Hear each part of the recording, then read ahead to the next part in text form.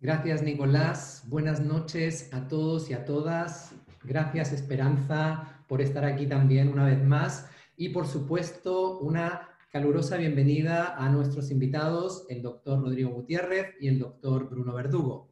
Antes de presentarlos, me gustaría a todos ustedes agradecerles por una vez más, una vez más unirse a nuestro eh, webinar, a nuestras actividades y por seguirnos en nuestras redes sociales y darnos vuestro apoyo. Esperamos que si tienen alguna inquietud o alguna duda o algún tema que quisieran que, que pudiésemos tratar, nos lo comunicaran por redes sociales o bien escribiéndonos a nuestro mail eduodonto.uft.cl.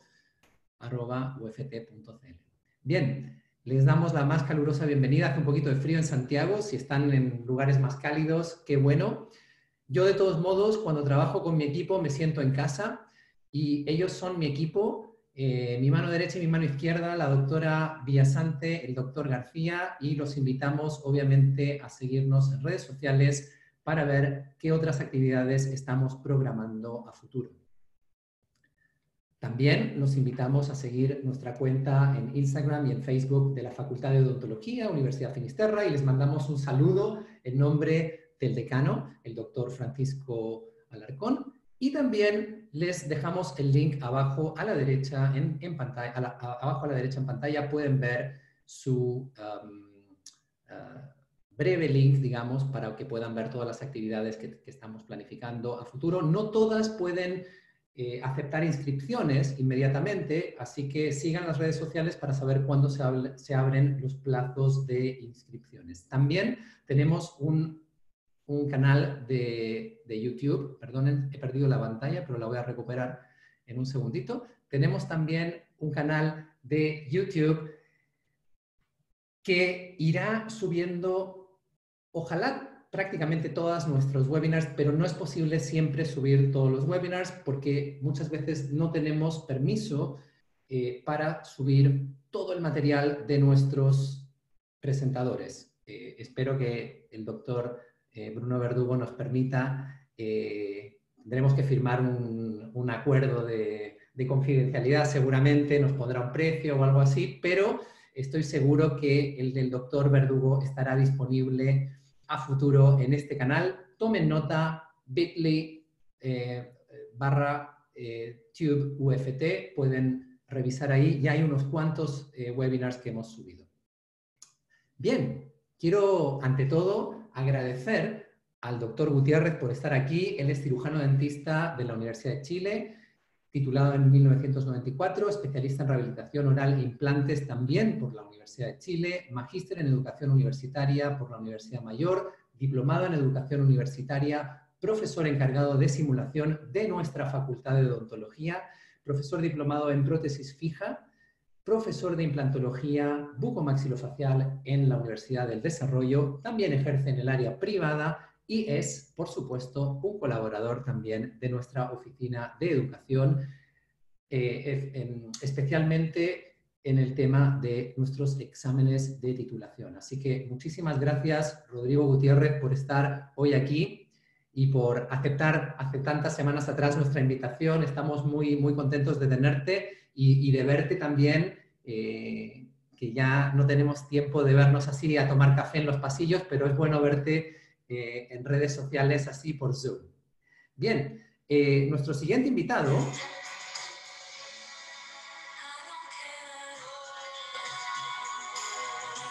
No, no es el profesor, aunque se parece mucho al profesor, pero no es el profesor, es nuestro querido profesor, el doctor Bruno Verdugo. Eh, su currículum es muy largo, yo quiero presentarlo también como un gran amigo también, y además un gran, em, como diríamos en inglés, doer, hacedor, alguien que hace cosas, cofundador de la Fundación Chilena eh, de Odontología Fuchod, con la que tuve el honor de poder participar este verano y espero que si la situación cambia el próximo verano pueda ir también como voluntario al sur de Chile. Él es también vicepresidente de esta fundación y además especialista en rehabilitación oral por la Universidad del Desarrollo, magíster en educación superior en curso, si bien, si bien recuerdo, creo que me, comentaste, estás a punto de terminar, profesor encargado de clínica adulto y senecente de quinto año de nuestra Facultad de Odontología, Universidad Finisterra, y además un gran y querido docente universitario que con mucho cariño y con mucho trabajo que tiene además nos ha brindado el tiempo y dedicación para preparar esta especial charla especialmente centrada en nuestros queridos estudiantes de pregrado y futuros colegas odontólogos. Así que sin más, voy a abrir tu micrófono, eh, Bruno, y darte una calurosa bienvenida. Y el escenario es tuyo, amigo. Un abrazo. Muchas gracias por esa presentación, Diego. Eh, estoy impresionado con las 362 personas que nos están viendo ahora. Eh, agradecerles por, estar aquí con nosotros, por compartir eh, en, este formato y agradecido también a, ti, Diego, y a la Oficina de Educación, a Esperanza, a Nicolás, eh, de este escenario que ya se está convirtiendo en un trending topic. ¿ya? ya hoy por hoy es lidera eh, la, opinión profesional, lo que he escuchado por ahí, así que felicitaciones por eso y orgulloso de estar acá con ustedes y también agradecerle al doctor Rodrigo Gutiérrez de estar aquí presente porque lo que vamos a presentar hoy día eh, está encarnado en la conformación de nuestros futuros profesionales de la universidad. Es un protocolo que se enseña y es un protocolo que se pone en práctica en las clínicas de la universidad. ¿sí? Entonces, eso habla de un trabajo en equipo de unión que a mí me tiene bastante, bastante emocionado. ¿sí? Así que gracias, Diego, por, por esa presentación. Y voy a proceder a, a empezar a mostrar. No sé si se ve, si se ve. Great. Bueno, em, dentro de algunas de mis pasiones, eh, no es que sea fanático, pero me encanta, es la astrofotografía. No sé si, si sabías, digo, no lo habíamos comentado, pero eh, comento a todos. Y hay un fenómeno súper curioso que se da a aquellos que se gusta mirar el cielo nocturno por harto tiempo, es que, y está encarnada en esta frase, que es que cuanto más oscura es la noche, más brillantes son las estrellas. Yo creo que este mensaje eh, es redondo y hoy por hoy viene a encarnar esta situación de que uno ve todo oscuro. Se lo digo a nuestros estudiantes, a los estudiantes que nos están viendo de otras latitudes, eh, que uno tiende a ver no más allá de la esquina y eh, ve todo encerrado y todo oscuro, y la verdad es que hay estrellas que están brillando, que son oportunidades y son momentos que podemos establecer como momentos de esperanza. Y créanme que la vida es así, la vida está plagada de estas oportunidades de esperanza, de estas estrellas que están ahí para que nosotros las podamos ver y las podamos tomar como, como oportunidad. Así que ese es mi mensaje para todos ustedes que están en este minuto mirándonos eh, eh, y que podamos un poco eh, entrar en confianza desde esta perspectiva, que yo les comparto una pasión personal y que este fenómeno es tan bonito, el compartir la esperanza. bueno, hoy yo les vengo a relatar un poco de lo que yo hago, ¿sí? tanto en la consulta privada como en la docencia, que es la rehabilitación. que más allá de la rehabilitación para mí es la conformación de un todo de poder proyectar eh, un plan de tratamiento y que éste sea estable, un plan de tratamiento personalizado para un paciente, un plan de tratamiento esté dirigido en relación a la necesidad de ese paciente y que tenga la virtud de ser estable en el tiempo. Es por esto que hoy le vamos a hablar de la secuencia detallada en prótesis fija unitaria en el sector anterior. Y se lo, digo a los estudiantes que nos están escuchando, eh, secuencia, uno escucha esa palabra y dice, bah, pero pucha, ¿por qué? Es que es de vital importancia entender que una secuencia detallado es un flujo de trabajo, ¿sí? desde un comienzo, un inicio a un final, y que esto ayuda a entender y a generar una planificación global de trabajo. Hoy por hoy vamos a tener como objetivos el conocer e identificar estos pasos ¿sí? de la secuencia clínica detallado en prótesis fija unitaria anterior, lograr plasmar conocimientos teóricos y principios biomecánicos que si bien es cierto, hoy por hoy la adhesión viene a llenar hartos vacíos, pero hay principios biomecánicos que no debemos olvidar, sobre todo cuando estamos hablando de prótesis fija unitaria en el sector anterior.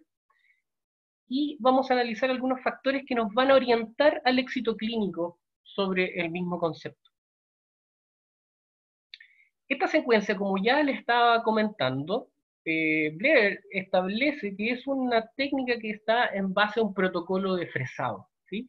Esto es importante entenderlo porque el protocolo de fresado eh, lo, hace, lo hacen ustedes, ¿sí? a través del desarrollo de competencias psicomotrices en un preclínico y luego la, eh, la capacidad de estabilizar esa, esa, competencia en un proceso clínico hace que sea habilidad operador dependiente.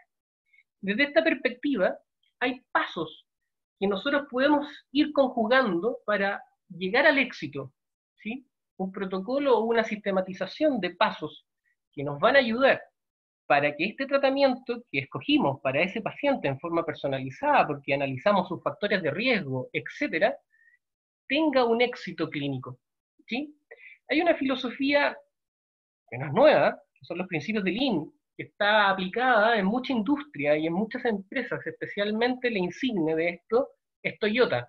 Y ellos hablan del el principio es una filosofía oriental, y está adaptada a los procesos eh, de confección de algo, y habla que esto debe ser un flujo continuo, ¿sí? Eh, un flujo continuo entendiéndose que todas las etapas se enlacen de cierta forma para no crear demora, sobre todo eso es lo que andan buscando nuestros pacientes, agilidad en los tratamientos y que sea un continuo. Organizar los procesos en forma continua, como dije, y crear un flujo de proceso para que la información y materiales fluyan más rápido. Y aquí está lo más importante, que es para que uno pueda visualizar alguna problemática que se genere. Si yo estandarizo mis protocolos, y si yo estandarizo la sistematización de estos pasos clínicos, va a ser posible y de, evidenciar si es que existe algún problema y por ende puedo solucionarlo. De lo contrario, si no tengo una sistematización de protocolos, de pasos clínicos, eh, voy a ser eh, eh, ciego frente a ciertas problemáticas que se presenten y por ende el éxito clínico va a estar vulnerado. Es por esto que a mí siempre me gusta partir este protocolo entendiendo que el primer paso y la piedra angular, eh, tanto para comenzar el tratamiento como para poder seleccionarlo, es por medio de un encerado diagnóstico y también de una matriz. No lo digo yo, lo dice uno de los secos del mundo, ¿sí?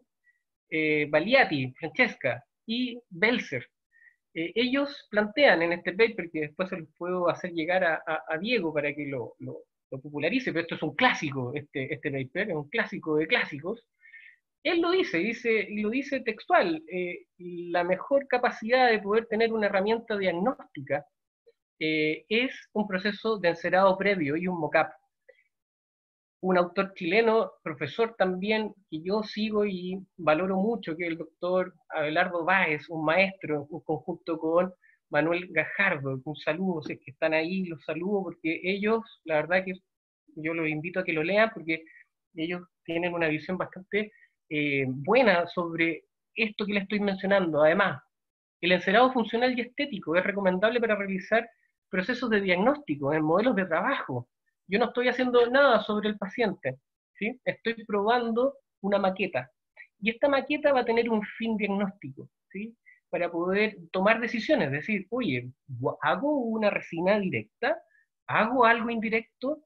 ¿Hago una prótesis fija unitaria? Y por ende va a ser de gran utilidad para tener un buen resultado clínico. Esto está en armonía con la estética y la función. Son conceptos súper importantes, como les decía, piedra angular. Aquí un caso que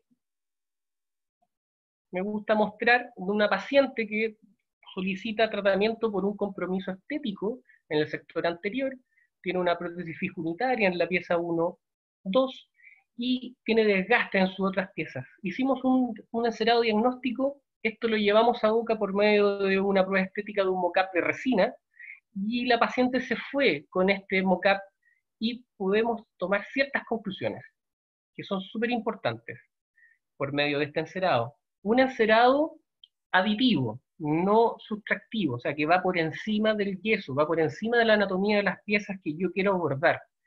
Es un encerado que uno lo, bueno, uno lo puede hacer o lo puede solicitar al laboratorio, que tenga ciertas características de grosores, ¿ya? Y aquí nosotros podemos evidenciar que existen puntos que son más translúcidos o puntos que son más gruesos de, de cera eso nos va a nosotros llevando a una respuesta del el requerimiento del tratamiento que vamos a realizar sobre este paciente.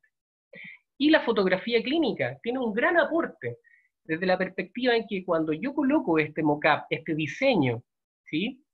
en boca, puedo también ver estos puntos que son translúcidos y tomar decisiones y decir, vamos a ser conservadores del remanente biológico, es necesario devolver función y estética, en este caso con prótesis fija unitaria, esas decisiones son tomadas por medio de este proceso de un encerado y posterior a un mocap puesto en boca. O también puede ser en forma digital. El análisis puede ser por medio de fotografías. Hoy por hoy, el Digital Smile Design nos puede ayudar mucho para poder llevar a cabo esta, esta misión. Nosotros podemos hacer en la fotografía lo que queramos, debido a que la tecnología lo permite y podemos diseñar y plasmar esto y proponérselo al paciente.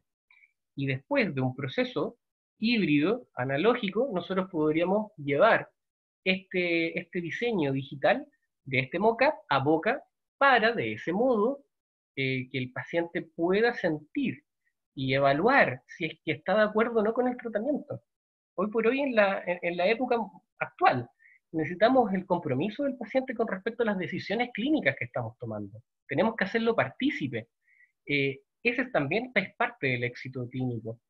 Y en este caso también hay fenómenos de posición de labio, hay fenómenos de percepción psicológica del paciente que necesitamos un feedback de parte de él, de ella en este caso.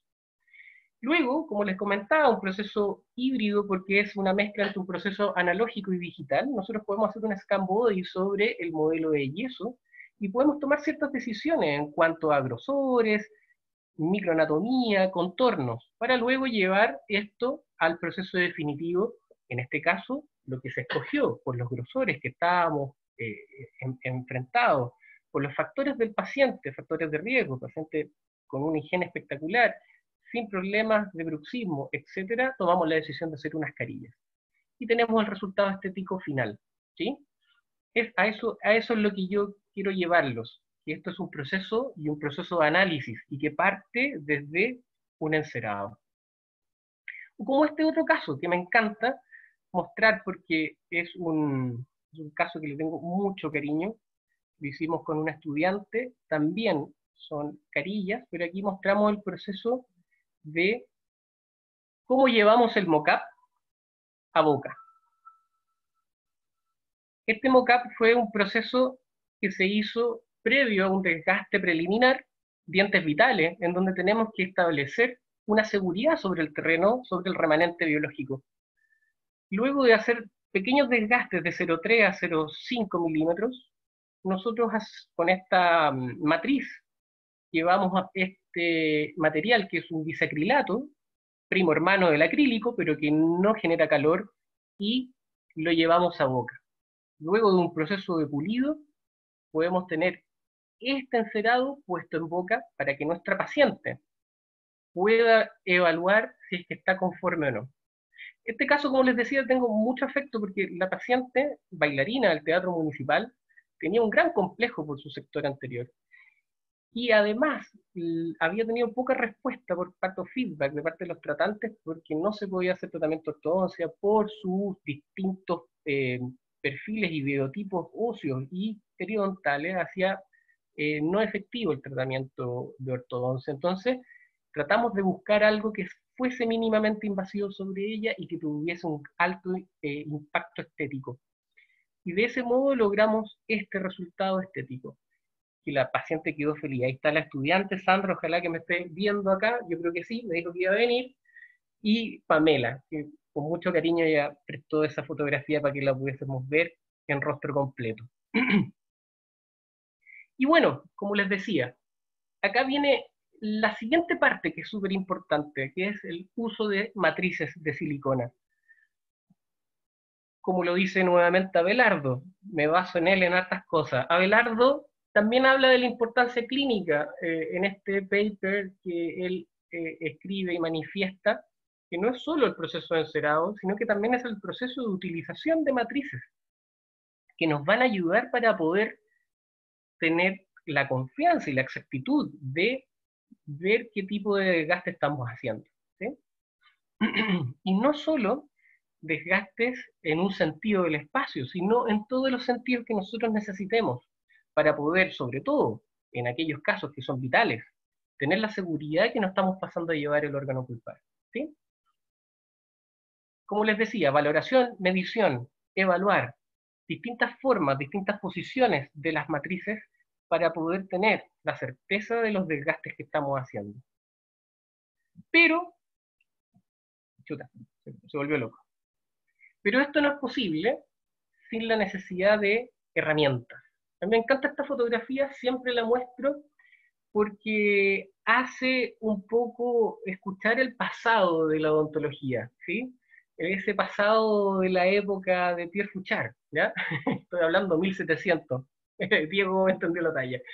Eh, ¿Por qué? Porque hay muchas herramientas que han sido adaptadas para el proceso odontológico, ¿sí? Espátulas, bubias, ¿sí? cucharetas, eh, un serrucho, hoy por hoy ocupamos la turbina, pero el concepto de corte es el mismo. Eh, alicates, para los que les encanta la cirugía. Eh, y estas herramientas las adaptamos para el proceso que yo les quiero mostrar hoy por hoy, van a ser estas. ¿sí? Son piedras de corte que nos van a ayudar a poder establecer esta secuencia. Yo hoy les quiero enseñar qué piedras eh, se deben utilizar para tener un buen rendimiento clínico. Esta secuencia eh, va a requerir de formas especiales de piedras.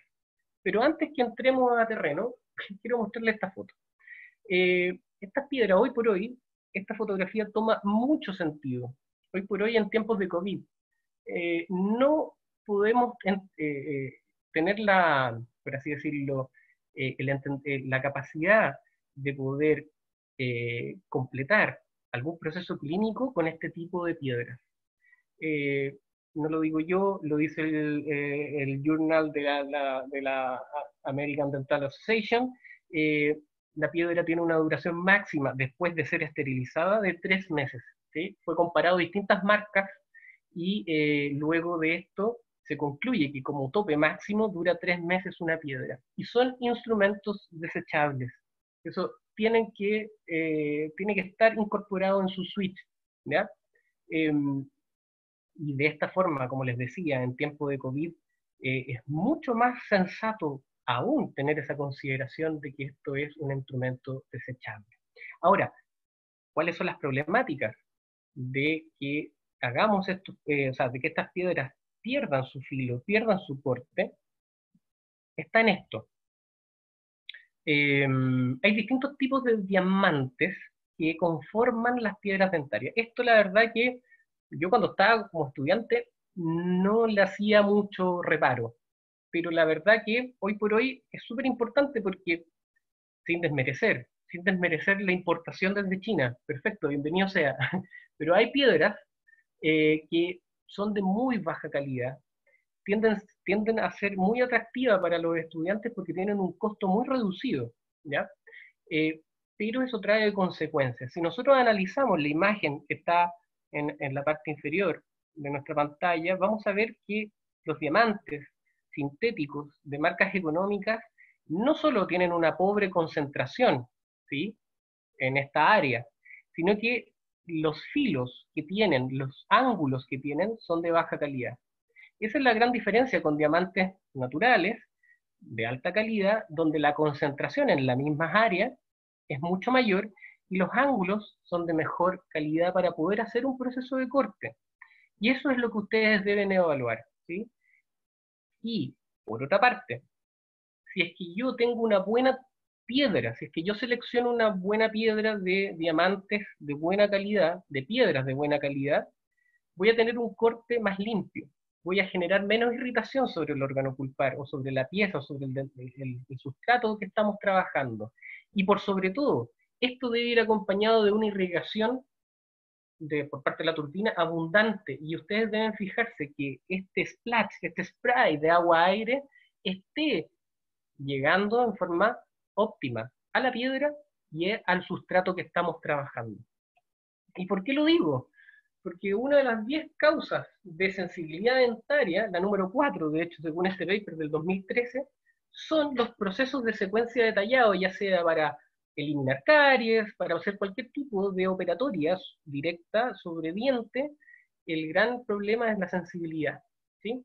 Y esto se genera básicamente por piedras de mala calidad o piedras que están quemadas eh, o que están embastadas y sucias y que no generan un corte limpio. ¿ya? Y esto en el proceso de secuencia tallado es muy, muy, muy importante contar con un instrumental que sea eficiente. ¿sí? ¿Podemos hacer retoques con a baja velocidad? Sí, lo podemos hacer, pero son los mínimos. Siempre vamos a requerir de refrigeración para poder evitar esta respuesta de los tejidos. Ahora, la selección de las piedras debe ser muy precisa y hoy día los vamos a revisar, pero quiero que hagamos un refresh con respecto a la selección de materiales de las piedras, porque vamos a ver los códigos, ¿ya? que hay una, hay una nomenclatura internacional que, que está supeditada bajo un catálogo o bajo una norma ISO, y cada número que aparece acá en este catálogo corresponde tanto a la forma de la cabeza de la piedra, al vástago, al material, al tamaño, ¿ok? Y al diámetro. Es súper importante sobre todo si queremos establecer una secuencia correcta de tallado. en este caso, yo les voy a mencionar de este código, vamos a hablar sobre la forma, el tipo de grano, el vástago y el diámetro, eso nos van a acompañar, que son universales, para poder seleccionar este material, esta herramienta adecuada para poder hacer este desgaste en forma apropiada.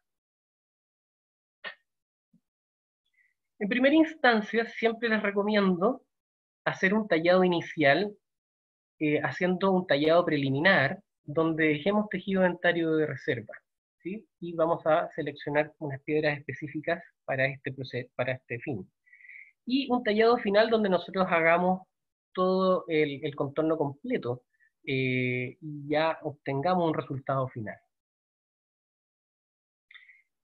Entrando en materia, el primer, o la primera parte que vamos a abordar de la pieza dentaria va a ser el borde incisal. Y vamos a utilizar para esto la piedra 841, que hace referencia a una piedra cilíndrica de borde redondeado, ¿ok? Y vamos a escoger, yo les recomiendo, un grano mediano, ¿sí? Cinta azul. Algunas no vienen con cinta de color, pero basta con el número que está en relación a esa pieza. Y el diámetro va a ser 0,10, que es súper importante eso, chicos. ¿Por qué 0,10? Se los voy a explicar. En una primera instancia, en la pieza dentaria vamos a hacer una línea, ¿sí? Una línea a 2 milímetros del borde incisal. Vamos a colocar y posicionar nuestra piedra a 45 grados con respecto al eje mayor de la pieza dentaria. Y vamos a hacer el desgaste de un milímetro.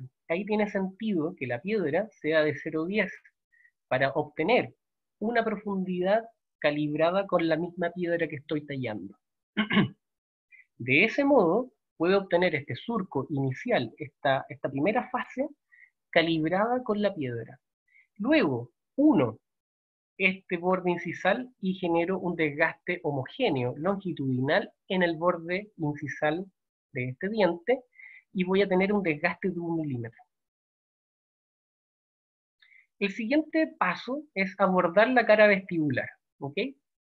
La cara vestibular la vamos a abordar con la misma piedra que ya les mencioné anteriormente, que es la 841, grano mediano. Fish and Grip habla de eh, que es de alta velocidad y del tipo de eh, posición que toma en la turbina y va a ser de 0,10 milímetros. Y ahora vamos a incorporar una piedra nueva, que es la 801 de grano mediano, cilíndrica, también de 0,10, ¿ya?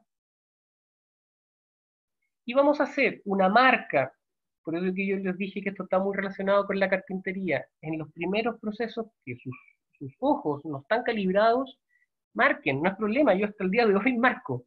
Eh, y funciona muy bien para poder guiar estos tallados. Vamos a hacer una marca a un milímetro de la encía para poder hacer un surco donde voy a hundir o profundizar esta piedra de 0,10 a la mitad. Y voy a extender este surco en relación al festón gingival y me voy a extender hacia las troneras. De ese modo voy a obtener un surco de una profundidad de 0,5 milímetros.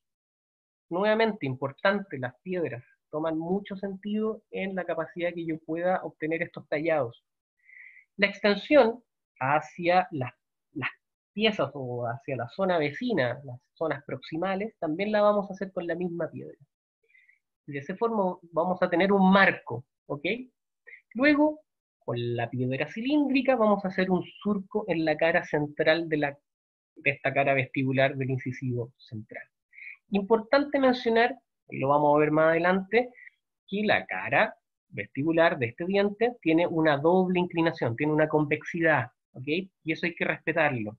Esto es un desgaste volumétrico en relación a que puede ser, en este caso, este vital y hay que respetar el órgano pulpar y por eso hay que ser, debe ser un desgaste anatómico. Para poder hacer el siguiente paso, vamos a seleccionar la piedra 879 de grano mediano, ¿sí? que va a ser, puede ser, esta ya puede tener un margen entre 0,23 y 0,21. ¿ya? Esta piedra es una piedra que se llama torpedo cónico. Y vamos a hacer el desgaste de la cara vestibular. Aquí está lo que yo les mencionaba. La cara vestibular no es recta, este es, un, molar, pero de la misma forma, hasta las molares tienen, sus caras vestibulares son convexas. Tiene una inclinación, entonces debemos respetar y debemos hacer este desgaste en dos tiempos, como está aquí, primero en la parte cervical y luego en la parte más incisal. De ese modo voy a tener un desgaste acorde a esa convexidad de ese diente. Como por ejemplo, en este caso, ¿ven? Yo les digo, yo marco, yo rayo acá estamos planificando el desgaste de unas carillas, eh, son desgastes de 0,3 a 0,5 milímetros, y estoy marcando acá el contorno gingival y estoy marcando el desgaste en la zona incisal que tiene una angulación y arriba tiene otra angulación y aquí se puede apreciar este doble contorno. Este es un desgaste muy, muy pequeño eh, que se hace para lens veneers y que inclusive en algunos puntos se ve que hay esmalte indemne, sobre todo acá, por ejemplo.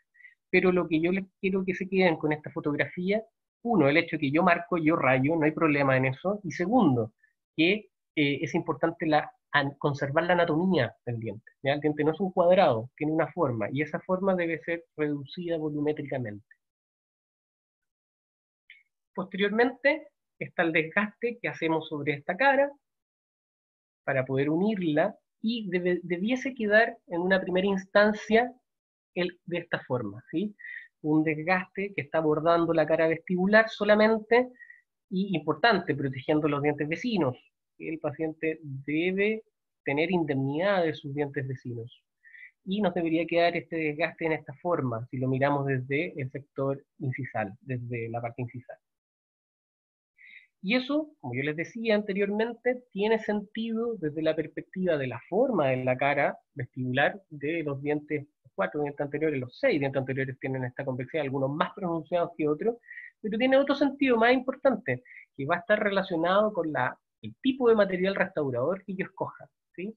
Va a estar relacionado, ya que no queremos dañar ni lesionar el órgano pulpar, ¿sí? Luego que hemos abordado la cara vestibular, vamos a abordar la cara palatina. Para este fin, vamos a necesitar de nuevo la 841, ¿sí? la cilíndrica borde redondeado, y vamos a agregar una nueva piedra que es la piedra en forma de huevo, ¿sí? eh, que esta va a ser de 0.23 y es la 8.33, ¿ya? Según el catálogo ISO. Y aquí vamos a hacer el mismo procedimiento que la cara vestibular. A un milímetro de la encía del gestón vamos a marcar una línea y esto vamos a hacer el continuo con la piedra redonda y vamos a extendernos hacia las piezas vecinas, ¿ya? Importante, chicos, en este proceso, hasta yo coloco cuñas y bandas. Eh, porque el paciente se puede mover, eh, uno puede perder el equilibrio, puede perder el punto de apoyo y puede irse hacia los lados. Insisto, desde un punto de vista ético, es importante que el paciente no se vaya con fresazos de sus, en sus dientes vecinos, ¿sí? Eh, y desde esa perspectiva, protejan siempre el diente vecino, ¿ya? Eso habla de un muy buen profesional, eso habla de este protocolo, ¿ya? De esta sistematización. Luego, esta es la parte compleja. Con la piedra cilíndrica extremo redondeado, debemos extender este tallado, ¿ok?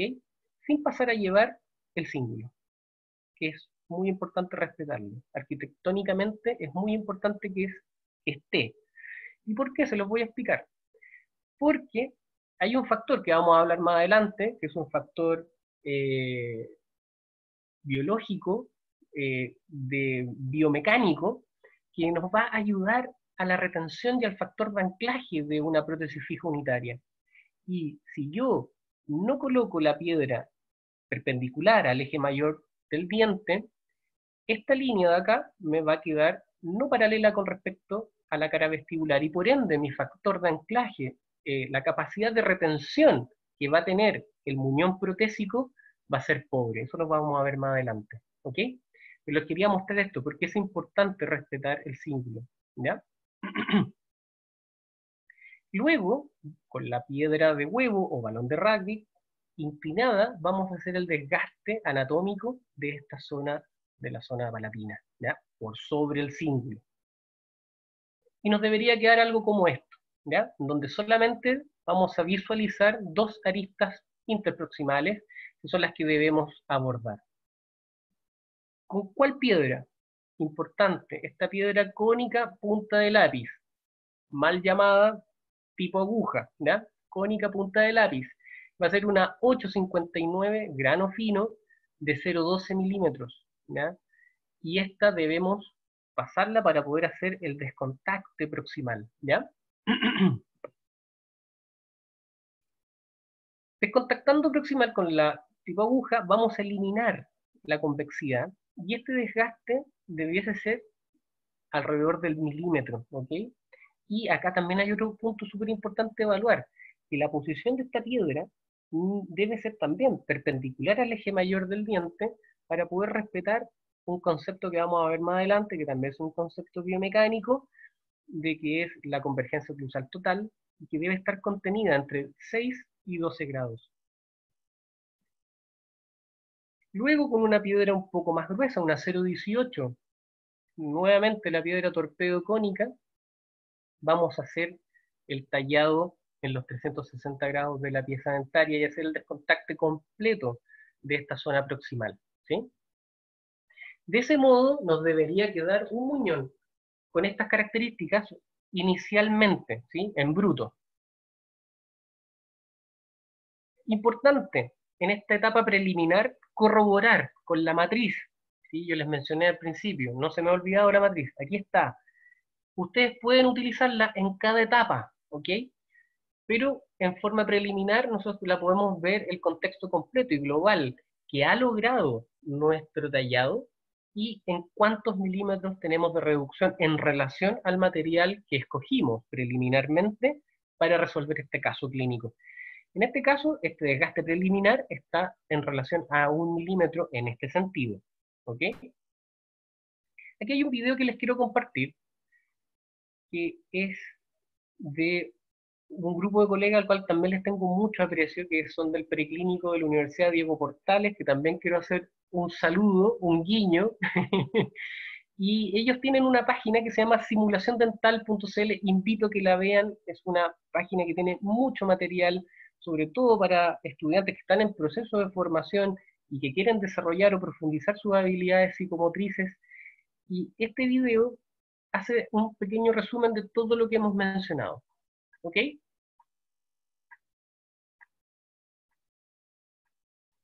Ahí está nuestro paciente, un fantoma muy conocido por todos nosotros.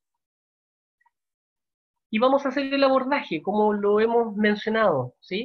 Surcos guías incisales de un milímetro.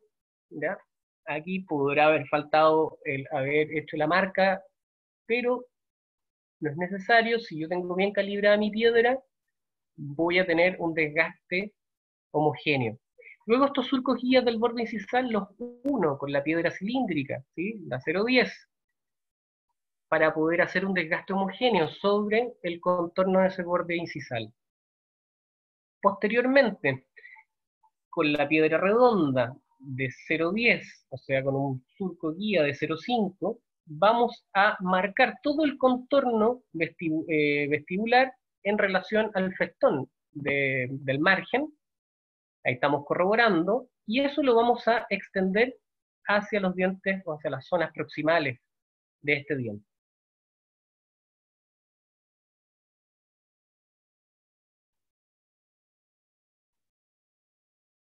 De ese modo vamos a tener la primera etapa de que esté abordado eh, la cara vestibular. Aquí hay una variante que se puede hacer con la misma piedra cilíndrica, el primer desgaste principal de esta zona central del diente, yo recomiendo la piedra eh, cilíndrica.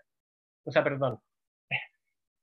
La, sí, la cilíndrica, bien Luego vamos a unir estos desgastes para poder tener el, el, desgaste completo de la cara vestibular. Y recuerden, como lo está haciendo ahí el colega, en doble ejes, ¿sí? Para poder respetar la convexidad de la cara vestibular.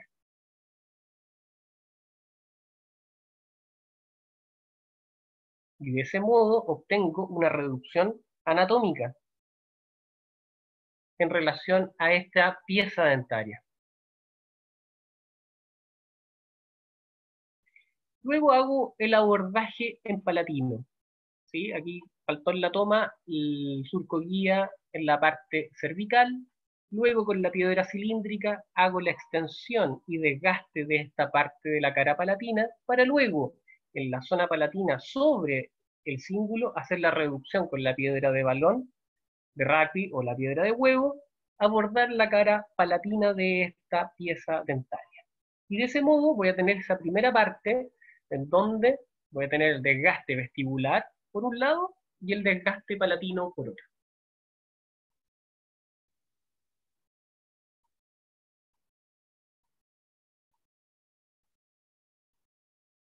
Luego hago el descontacte proximal. Idealmente siempre, como les mencioné, protección con el diente vecino, ¿sí? Una banda, una cuña, importante. Si usted tiene un buen control psicomotriz, pudiese no hacerlo, yo no lo recomiendo. Y ahí hago el descontacte de la arista proximal del diente, ¿sí? En ambos lados, en mesial y en distal, para luego este desgaste homogenizarlo completamente en 360 grados para unir y conectar la parte vestibular con la parte palatina y obtener un muñón preliminar con desgastes preliminares, algo similar a lo que está obteniendo ahí el colega. Luego vamos a ir a la zona de chamfer, a la terminación, ahora la vamos a mencionar, para poder hacer ya los, últimos retoques con respecto a este tallado preliminar.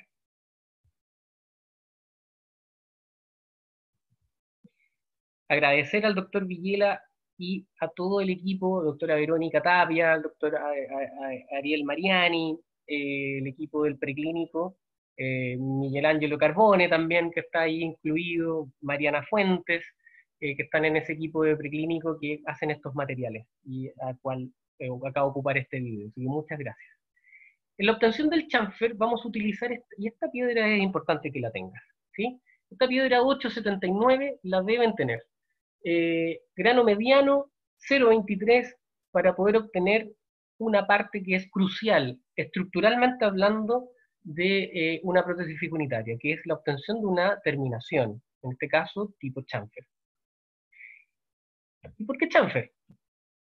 A ver, las terminaciones cervicales en términos generales, si son mal ejecutadas y tenemos una interfase o algún problema, vamos a generar un espacio pero gigantesco y riquísimo para que se instalen periodontos patógenos en esa zona y que desde ese punto comiencen a generar un mal negocio para nosotros y terminen afectando no solo la estética, sino la función de una prótesis unitaria. ¿ya? Eh, ustedes ya saben, después de la instalación del periodonto patógeno, no solo perdemos el festón marginal, perdemos hueso, sin la instalación de un proceso eh, cariogénico, y así sucesivamente, al final, el fracaso de nuestro tratamiento.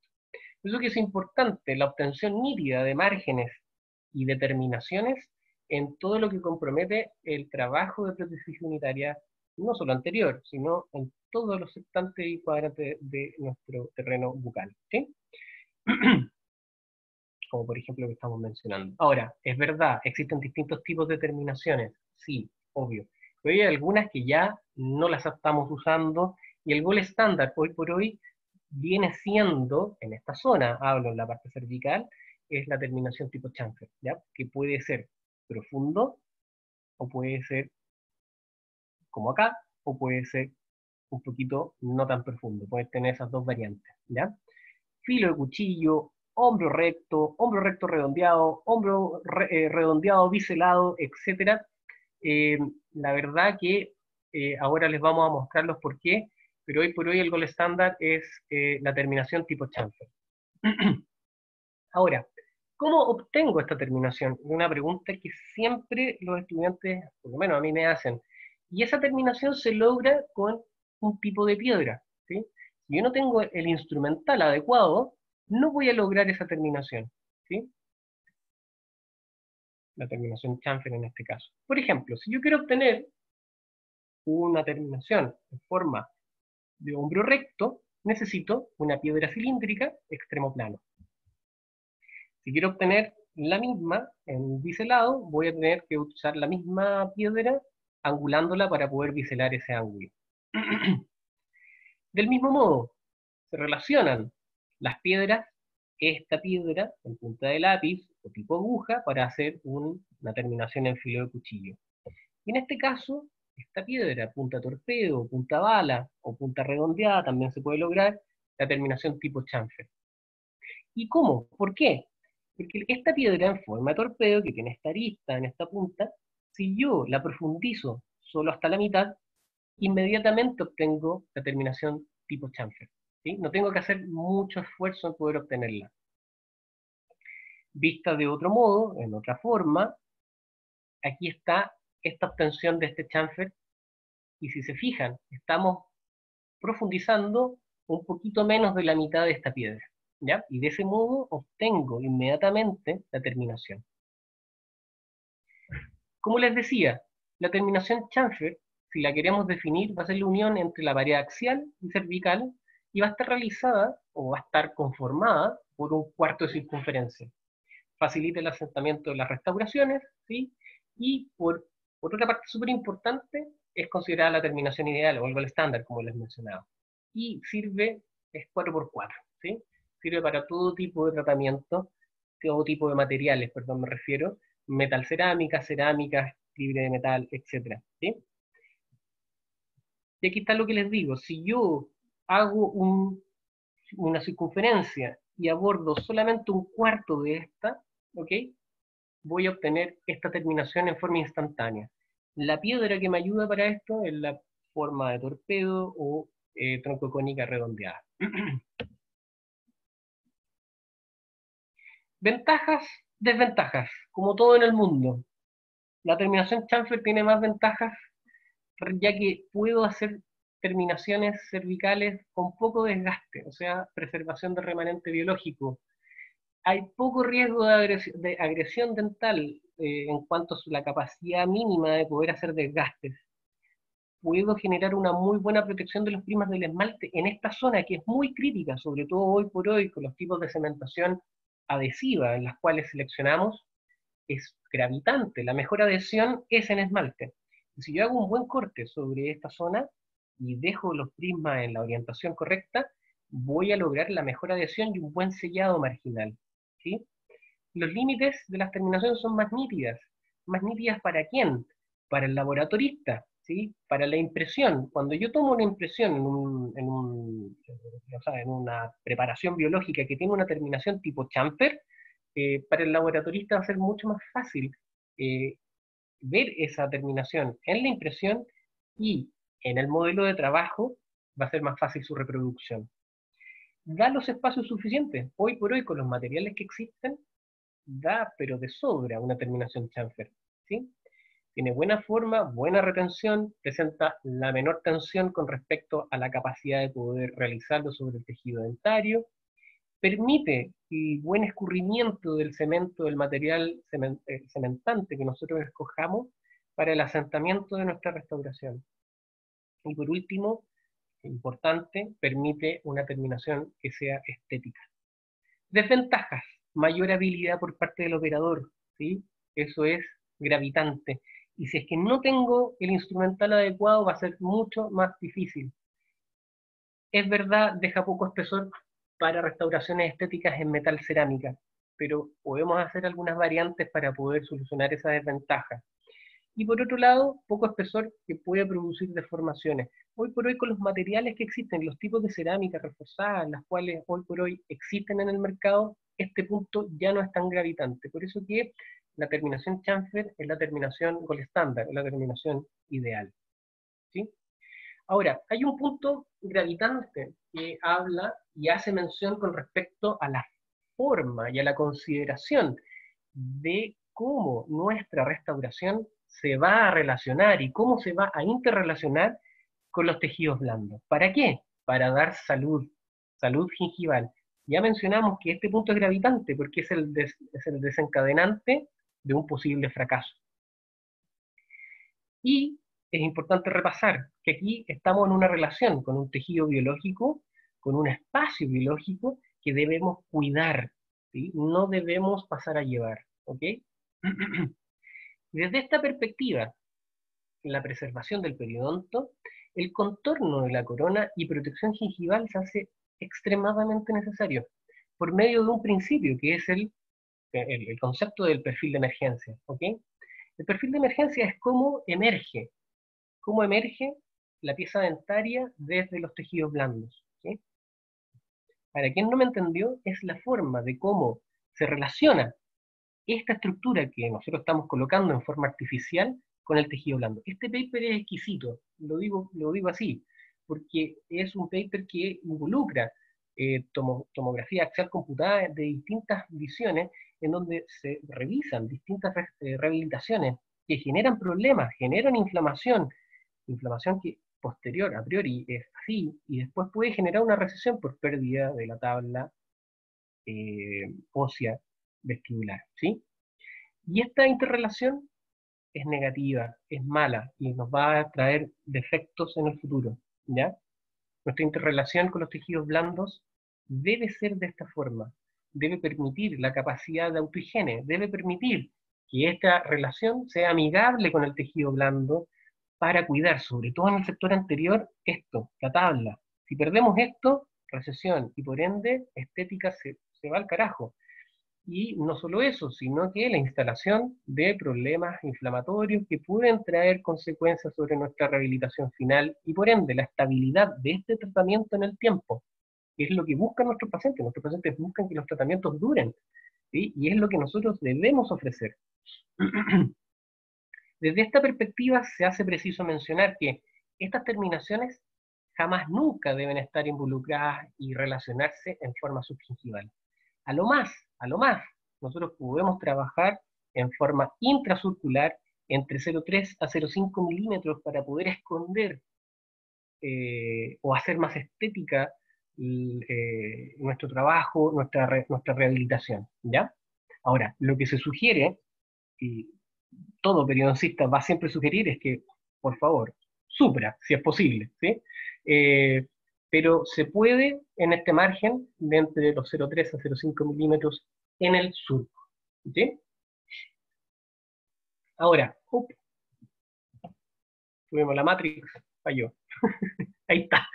Eh, otro punto biomecánico importante a considerar, chiquillos, sobre el proceso de desgaste de, la secuencia, es importante considerar, y esto debe estar involucrado en la planificación previa, es la duración eh, estructural. ¿sí? Esto va a estar determinado por la calibración o la graduación del grosor de nuestra de nuestras restauraciones, ¿sí? La profundidad, ¿sí? Los volúmenes en los cuales vamos a desgastar. Eso va a ofrecer estabilidad, va a ofrecer que este tratamiento no se fracture, resista fuerzas masticatorias, ¿sí? Eso claramente está relacionado con el tipo de material que yo escoja. Es muy distinto un circonio a una cerámica eh, de alto contenido de matriz, vitria, por ejemplo, ¿sí? Y por ende, muy distinto una metal cerámica entre ellas. Porque no solo es el color, ¿sí? También es el sustrato en el cual nosotros estamos trabajando, ¿sí? Es importante tener el contexto en el cual estamos desarrollando y ejecutando nuestra maniobra clínica, porque Dios no lo quiera, les pase esto, ¿sí?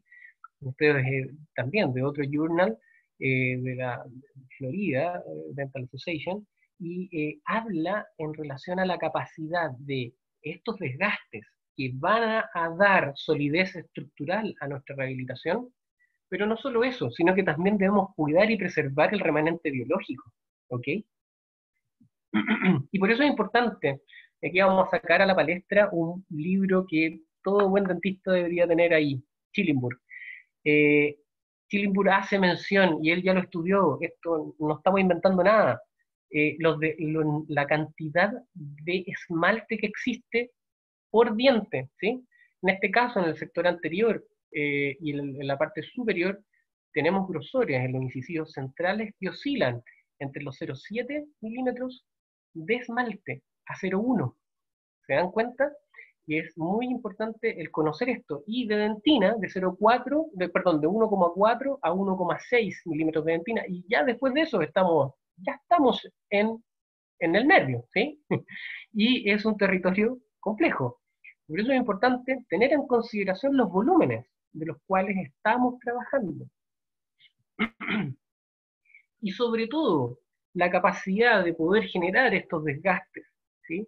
estos desgastes en reducciones volumétricas apropiadas y acorde a mantener un remanente biológico que nos pueda servir biomecánicamente, está el concepto que les mencionaba anteriormente, que es un concepto antiquísimo. Eh, aquí Woodake lo trae de nuevo al presente del año 2003, que es el concepto de la convergencia cruzal total, o COT, que debe oscilar entre 6 a 12 grados. ¿ya? Eh, este, este paper, donde él habla de varios principios eh, de tallado en coronas completas, aborda este, este concepto. ¿sí? Este concepto lo marca en una tabla eh, que es sumamente fácil de, asimilar, que habla que los tallados debiesen estar entre 5 con máximo límite un 25 grados. ¿Ok? ¿Y por qué? Porque eso nos va a transferir, ¿sí? Mientras mayor es el grado de conicidad de una pieza dentaria en la cual yo hice un tallado, pierdo retención. Eso, eso está archi estudiado. Aquí les puse dos referencias, una más vieja que la otra. eh, pero lo que les quiero mencionar, que en el fondo esto no es algo, es algo nuevo, algo que se está diciendo hace mucho tiempo. Las prótesis unitarias se están haciendo hace décadas atrás y se mantienen en su sitio. ¿Por qué? Porque uno puede privilegiar la retención en pos de este desgaste de la convergencia cruzal total para mantenerla en un, en un nivel que sea apropiado, entre los 6 y los 12 grados. ¿sí? Aquí aseguramos retención mecánica, que es importante. La cementación adhesiva sí es espectacular y vino a llenar muchos vacíos hoy por hoy, pero la técnica, los principios de tallado, debemos respetarlos. Ahora, ¿cómo logro esta COT? Bueno, muy fácil. Las piedras que nosotros evaluamos hoy por hoy tienen la mayoría o usted la puede seleccionar eh, si desea una piedra más angulada, pero la mayoría que acabo de presentar en relación a la normativa ISO presentan una angulación en ambas caras o en, en los 360 grados de su forma de 3 grados de angulación por lado. Eso quiere, vale decir que si yo ejecuto la técnica en forma correcta y hago un desgaste apropiado, voy a obtener en total 6 grados de convergencia. Y eso es lo óptimo. Esa fija que tú haces ahí no se te cae nunca más, con esa, solamente ese principio y ese factor de retención biomecánico.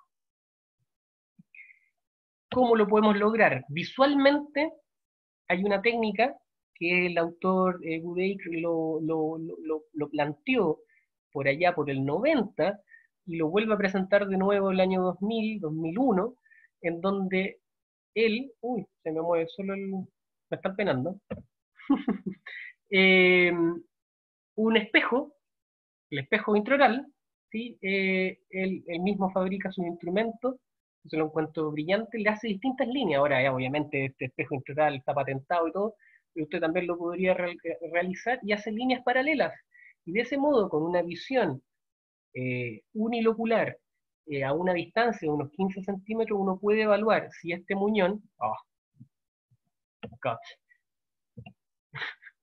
no sé qué pasa, algo está ahí, me están penando, ya no importa. Uno puede evaluar si ese muñón está con una convergencia apropiada o no, ¿sí? Y de esa forma uno puede eh, dar seguridad de ese tratamiento, va a tener estabilidad mecánica, va a tener estabilidad eh, y un éxito clínico en el futuro. No sé, está, extraño. Hay otro concepto que también es importante analizar, que mientras yo tenga mayor angulación de las caras proximales, ¿sí? por X motivo, eh, angule más, voy a tener más riesgo de proximidad al órgano pulpar. Eso es por defecto. ¿ya? Y también el otro concepto biomecánico importante que les quiero mostrar hoy es la altura del muñón protésico. Mientras yo tengo una altura de muñón protésico que oscile entre 3 a 4 milímetros como mínimo está establecido, en el sector anterior voy a tener una retención mecánica apropiada. ¿Sí? Aquí está. Y estos fenómenos que acabamos de analizar nos van a dar anclaje. Retención por un lado, estabilidad por otro, sumados entre sí, solos van a dar un factor de anclaje de nuestro elemento protésico. Sin considerar el cemento, si en esto colocamos la capacidad adhesiva hoy por hoy de los cementos, el éxito clínico está asegurado. Luego de haber hecho este, este, este viaje por estos principios biomecánicos en relación a los tallados, tenemos que hacer, por último, el pulido final. Por aquí yo incluí esto y estos papers que, hablan sobre que el pulido en algunos casos favorece la acción del cemento. Eso está, no hay evidencia eh, eh, significativa que determine eso. Pero lo que sí es que un buen pulido del muñón protésico va a ayudar a que la impresión sea mejor. ¿Sí? Eh, y esa impresión va, en el fondo, el objetivo es que por ende la rehabilitación tenga éxito clínico. Finalmente, ¿cómo logro este pulido? Este pulido lo logro con una piedra cónica, punta redondeada, de grano fino, ¿sí? Podría ser extra fino también. Eh, anillo rojo, ¿sí? Una 852 grano fino de 0,18 eh, milímetros. Y esto nos va a ayudar, uno, a no profundizar y no, no generar mayores desgastes, conservar los desgastes que tenemos, y ya mencionamos la virtud de poder obtener una impresión eh, mejorada o una impresión óptima. ¿sí? Eh, por último, realizamos los últimos desgastes, abordajes de cara palatina, pulido de cara palatina, y pulido general con distintos discos de óxidos de aluminio de distintas graduaciones. Está la marca más nombrada, no la voy a nombrar porque no me están pagando, pero eh, existen distintos discos de distintas eh, graduaciones que nos pueden ayudar, pasando desde el más grueso al más fino, a dejar esto con el máximo pulido posible.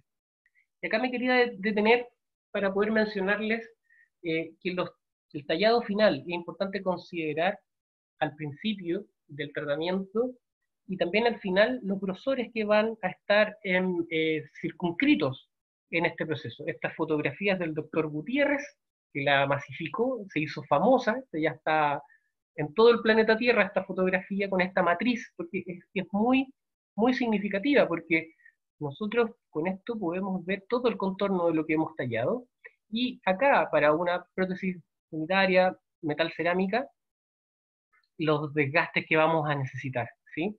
Eh, hoy por hoy todo está tendiente un poco a lo que esté libre de metal y pudiésemos variar estos grosores entre 1 a 0,7 milímetros, en incisal pudiese ser de 1, yo no lo recomiendo porque ahí están las fuerzas concentradas y es importante mantener la estabilidad estructural de nuestra restauración. Acá hay un, caso clínico que les quiero mostrar cómo llegamos de esto, paciente con múltiples atriciones, después de un proceso detallado, llegamos a este tratamiento final.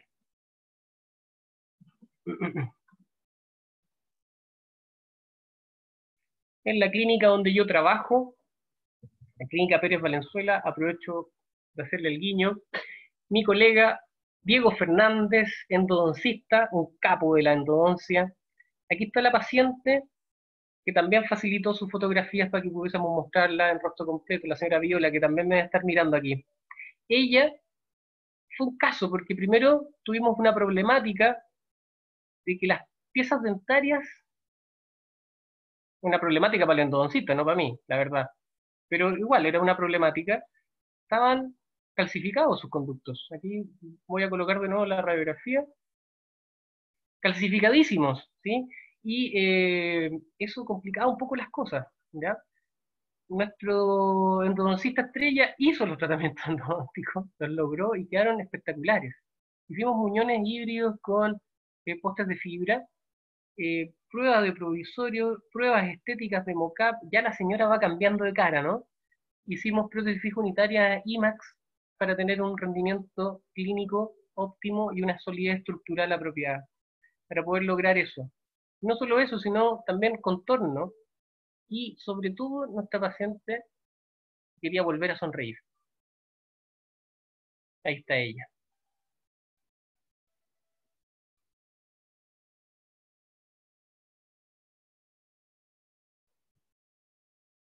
Y ahora quería, uy, se, se ahí está. Por último, quería mencionarles para mí mi otra gran pasión, eh, es la fundación. Les quería comentar un poquito de la fundación. La Fundación Chilena de Odontología, aquí están nuestros sponsors, eh, Implantes SIN de Dental Sich, ahí a César Oliveros le quiero mandar un gran abrazo porque él nos facilita todos los implantes que colocamos en la fundación. La Municipalidad de Puerto Montt, que por medio de ella hacemos también esta llegada de esta capacidad de poder ayudar eh, y poder ofrecer tratamientos odontológicos de calidad. A Club de Leones, que también nos ayuda a poder vincular, es un agente vinculante el Club de Leones para que nosotros pudiésemos eh, llegar y estar ahí físicamente, excepto Don, que siempre se pone con todo, todo lo que corresponde, y papelería médica que nos ayuda a hacer las recetas y todo lo que necesitamos en relación a nuestro desempeño administrativo. Eh, ¿Quiénes son? ¿Quiénes encargan, encarnan la fundación? Eh, en orden de derecha a izquierda, por la parte superior está Carlos Walker, que él es el presidente, eh, Gabriel Moene, tesorero, que les habla, eh, vicepresidente, Cristóbal Sepúlveda, secretario, Julio Romero, parte del, del directorio y también parte activa del proceso de ejecución de, este, de estos voluntariados y de la fundación propiamente tal. Ignacio Peña, encargado del área académica, Pamela Cáceres, encargada del área administrativa, y nuestro director ejecutivo, Luis Antonio ¿Sabes? Ellos conforman la fundación. Ahora, ¿qué hacemos? Hacemos tratamientos dentales desde la A a la Z. Diego estuvo con nosotros y eh, montamos una clínica multiespecialidades, contamos con tratamientos de periodoncia, cirugía maxilofacial, colocación de implante, implantología, operatoria dental, atendemos niños, odontopediatría, hacemos una infinidad de tratamientos a población y a personas que no pueden acceder por problemas de, geolocalización, por estar muy lejos de la capacidad de atención normal, ya sea eh, gubernamental o privada. Y no solo eso, también la capacidad de acceso, acceso monetario a tratamientos dentales como, por ejemplo, tan costosos como la rehabilitación implantosistía. Aquí estamos, Germán Heldren, uno de nuestros cirujanos, que está realizando ahí una intervención y eh, tratando a un paciente eh, con una rehabilitación implantosistía. Y aquí están nuestros voluntarios, nuestro motor. Eh, aquí hay varios que, están y ojalá que estén aquí presenciando esta charla, porque con cariño les digo que gracias a ustedes esta fundación se mueve, gracias a ustedes esta fundación es posible. Y aquí estamos en la etapa de evaluación, esto fue en el verano, y gracias a eh, Diego, con, en conjunto con eh, el paciente inglés, eh, pudimos hacer una interrelación súper bonita y súper sinérgica, que es, llevar dentistas titulados que tienen una gana gigante de aportar a, nuestro país y desempeñar funciones profesionales, sobre todo en el ámbito del voluntariado. Aquí estamos con Diego, Aquí estamos con nuestro endodoncista también, de nuestra Rodrigo, de nuestro también parte de la universidad, y está ahí haciendo tratamientos endodónticos. Tenemos nuestro chiche, que es un pabellón modular, eh, un hospital de campaña, donde realizamos en conjunto con eh, la doctora María si no me equivoco, sí, ella, eh, maxilofacial, y hicimos exodoncias de terceros molares gratuitos que es una lista de espera en nuestro país, en Chile, gigantesca. Gracias a esto pudimos dar un tratamiento oportuno y eficaz. Eh, ahí está el equipo completo de los que estuvimos eh, de la Finisterra en estos voluntariados. ¿sí? Mando un saludo gigante a Benjamín, Paula, bueno, Diego, tú estás ahí, Shirley, y el pelado Nicolás, que aportó en estos trabajos y en este hospital de campaña. ¿sí? Aquí estamos haciendo tratamientos diversos y eso es lo que hacemos. En un, colegio rural eh, montamos una clínica completa.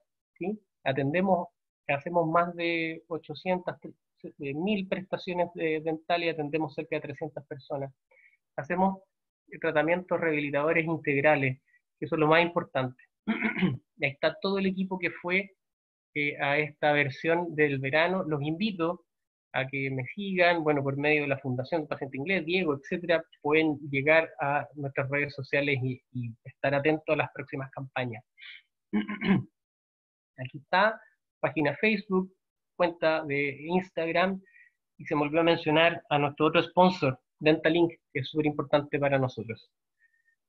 Y nada, pues volveremos a estar juntos chiquillos, esto es solamente un lapsus de tiempo, aquí está el equipo al cual yo pertenezco y hacemos eh, clínica, clases y formamos eh, a nuestra masa profesional odontológica en la facultad.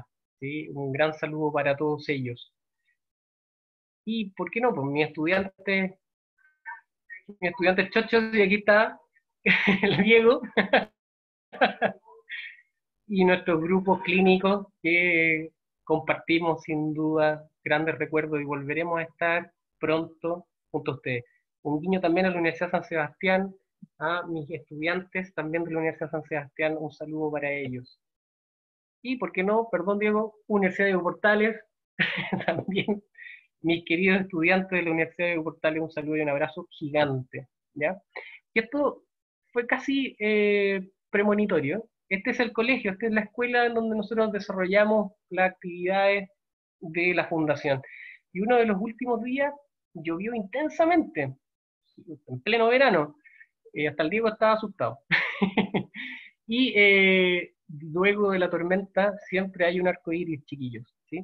Y que un mensaje, una fotografía de esperanza para todos los que nos están escuchando y un gran, gran abrazo. Por último, los quiero dejar con la imagen de esta resonancia de amor que genera el templo Bahá'í hacia el, hacia el universo y que lo baja hacia la tierra, para que todos estemos en sincronía y que tengamos un mejor, un mejor futuro, presente y futuro. Un gran abrazo, chiquillos, y les dejo aquí un último caso clínico, unas carillas que hicimos. Puede ser otro tema que podamos conversar, Diego, eh, en el futuro. Ahí está mi cuenta Instagram, mi mail, si me quieren seguir. Y muchas gracias, chiquillos.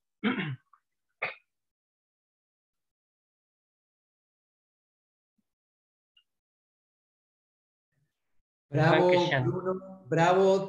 yo sé que muchas personas eh, que te queremos mucho te, están aplaudiendo en casa, yo también, eh, junto al panel, al doctor Gutiérrez, a la doctora Villasante y al doctor García, y seguro que muchos de tus estudiantes eh, del pasado y del presente, de todas las distintas casas de estudio que has tocado con tu simpatía, con tu cariño y con tu franqueza. Así que, Bruno, gracias totales por tu presentación. Yo tuve el honor de, compartir con Fuchod y realmente esa es otra charla que estamos preparando a futuro para hablar sobre voluntariados odontológicos y tendremos, espero, al doctor Verdugo con el doctor Walker que nos van a estar brindando su visión y su expertise y experiencia en este, en este emprendimiento.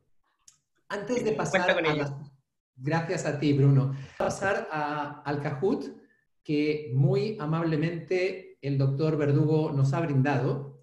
Y después del Kahoot le cederé el micrófono a, al doctor García y al doctor Gutiérrez para que moderen la sesión de preguntas al doctor Verdugo, que esperamos puedan hacer a través de microfonía y si no, cuando se habilite el chat más adelante. Por favor, las personas que ganen el, eh, concurso de hoy, comuníquense con eduodonto.uft.cl, va a salir en el chat en breve, y explíquenos qué premio eh, lograron su nombre, su dirección, sus datos, etcétera, y en la medida de lo posible, recuerden que estamos en una pandemia, los premios los cumpliremos porque nuestros sponsors nos los, nos los van a dar, pero entiendan que a veces no puede ser mañana porque ellos tienen una cadena de eh, burocracia, digamos, que tienen que cumplir y no se puede cumplir ahora durante la pandemia. Vamos a abrir el quiz ustedes ya conocen. Y para quienes no conozcan, lo único que tienen que hacer es entrar a www.kahoot.it que va a salir en el chat y colocar el pin que sale también arriba. Ahí está no vale que el doctor, el doctor Bruno Verdugo no puede jugar.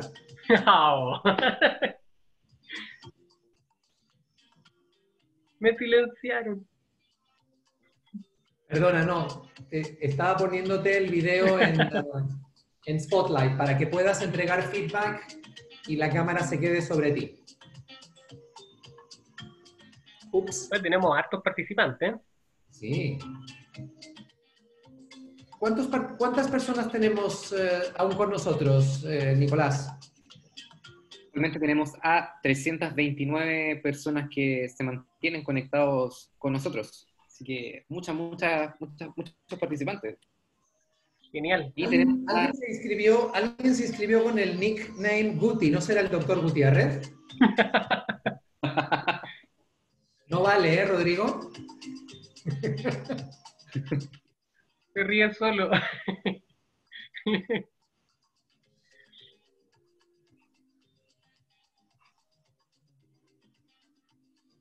Tenemos ya casi Sí, tenemos a 150 participantes ya inscritos en la competencia Kahoot. Recuerden que... Espectacular. Uy, puros nombres conocidos aquí, veo harto. Yo aprovecho a saludar porque me parece que está todavía el profesor Enrique Fernández, que te manda un saludo muy especial, Bruno. Me dijo que no se perdía tu webinar y lo vi en la lista de inscritos. ¿En serio? un saludo gigante. Está un saludo gigante. Fernández del profe. Eh, un gran abrazo también porque es un gran amigo. Grande profe, sí, no, un maestro. Así que también un saludo y un abrazo a la, aquí virtual.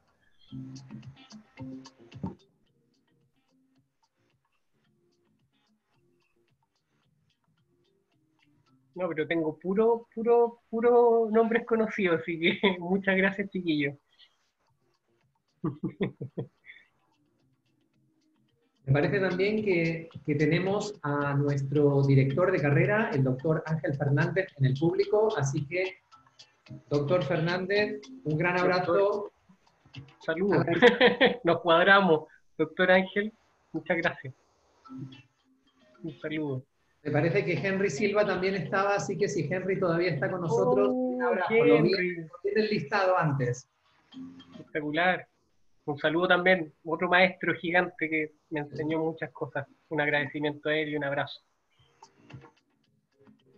Bien, veo que Javi Castro está entre los participantes. Cuidado, porque Javi Castro es peligrosa, en el buen sentido. Ah, ¿verdad? Es del anterior. Sí. En fin, en honor al tiempo, estimados, vamos a comenzar.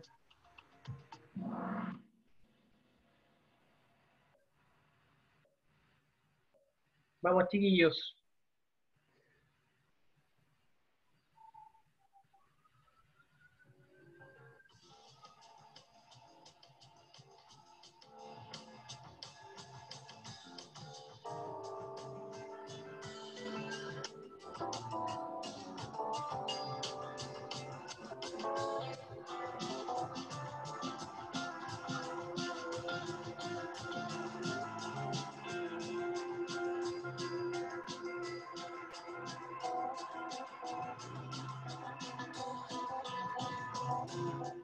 Gracias, Web Dental. Y efectivamente, cuando dicen que están en todas, están en todas y están con nosotros también. Muchísimas gracias a Sebastián Jiménez y a todo su equipo.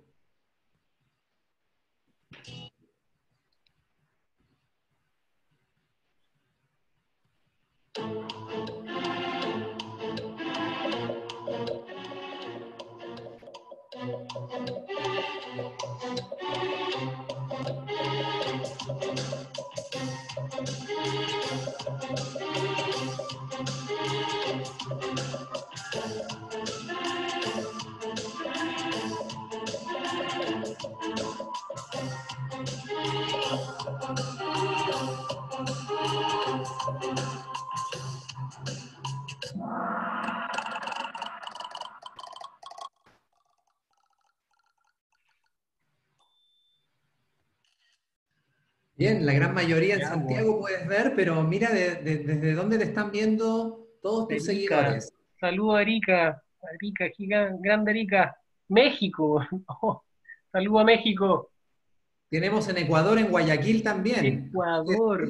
Guayaquil. Saludos. Cuenca Wow. también. Cuenca. Saludos. Saludos a todos. Fantástico. Guayaquil. Espectacular. Saludos a todos, chiquillos. Gracias.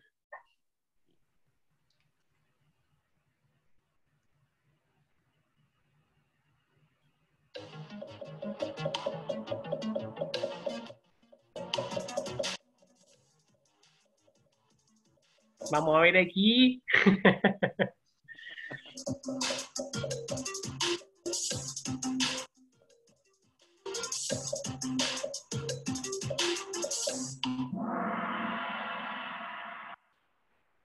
Perfecto. Les quedó clarísimo el concepto. Bien. Y además, además, eh, tenía miedo porque creo que Rodrigo Gutiérrez me estaba mirando si, po- si, si se me ocurría poner una pregunta así en un examen de titulación, pero no, Rodrigo, tranquilo. en Tu filtro de preguntas y el de Esperanza tampoco va a entrar, ¿eh? No, no. Es un pequeño. Estamos relajados.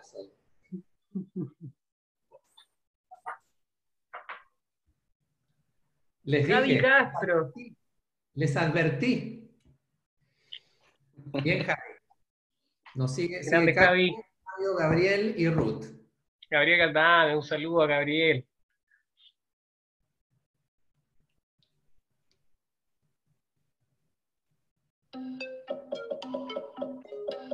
Vamos, vamos. Ah, rápido, ¿eh? Sí, está, está ágil esto.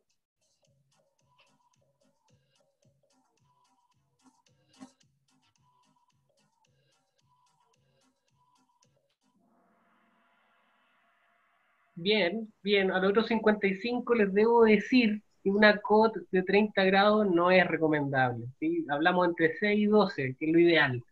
Eh, pero bien, en términos globales, perfecto. Quedó, el concepto quedó acuñado. Javi Castro, ahí de no. Ah, no, bajó. Entró Wow. Camilo Proboste, un saludo a Camilo. Camilo, de nuestra Sociedad Científica de Estudiantes de Odontología, UFT, un gran saludo a la distancia, Camilo.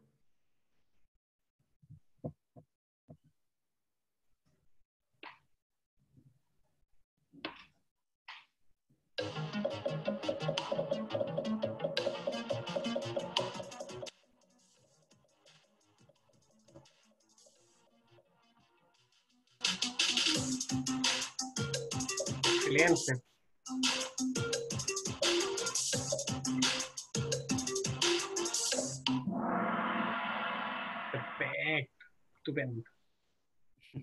Nada que decir, pues. Quedó, pero, joder, espectacular el. El, Yo, el pero- profesor ha realizado el papel de profesor. Sí.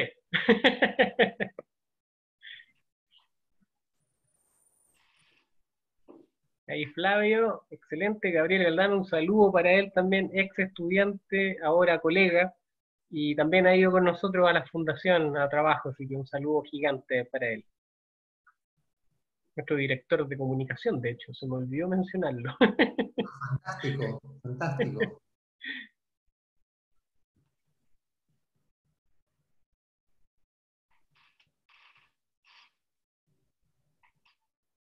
Vamos a ver aquí. Esta viene con, con pillería. viene con maldad.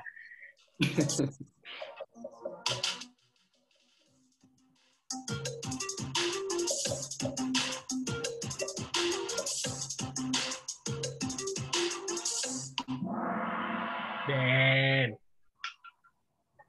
Espectacular. Bravo. Sí, nada que decir. Flavio ahí punteando. Entra el Seba, perfecto. Grande Seba.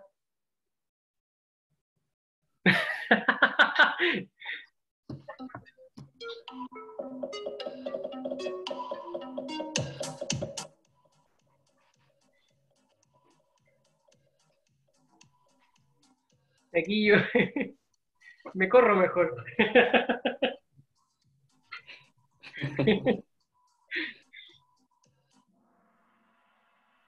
Espectacular.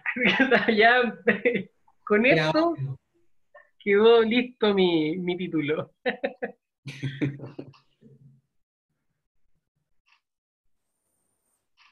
Te podrías cambiar el nombre a Sergio, ¿no?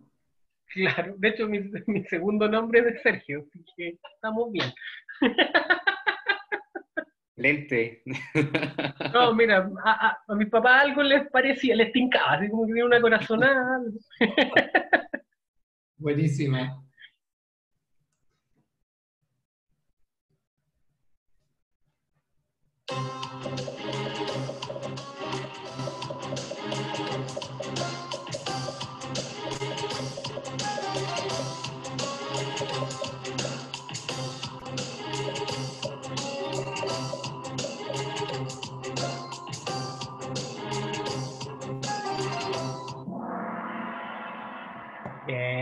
Estupendo, súper.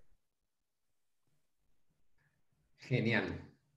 No, nada que decir, ahí está, pero plasmado. O sea, Flores sube.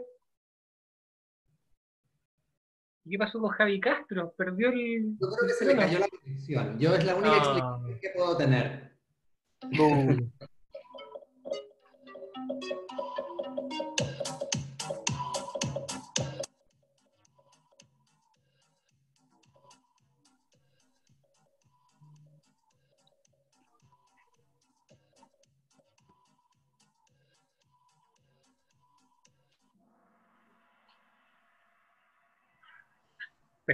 Espectacular. Ah, Debo felicitar a, a nuestros participantes porque realmente Estuvieron atentos. ¿eh? ha quedado clarísimo. Sí. No, eso es bueno, que los conceptos ahí quedaran, pero, pero bien, bien arraigados. que es lo que me importa, así que perfecto.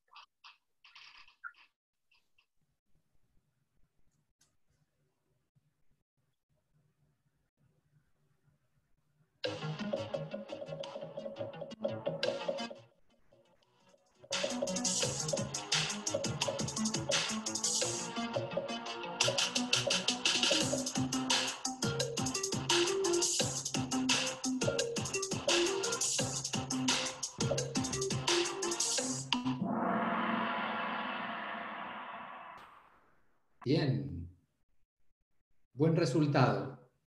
Yo creo que, ha quedado claro y la importancia que el doctor Verdugo hablaba al principio de la secuencia o de los protocolos, obviamente.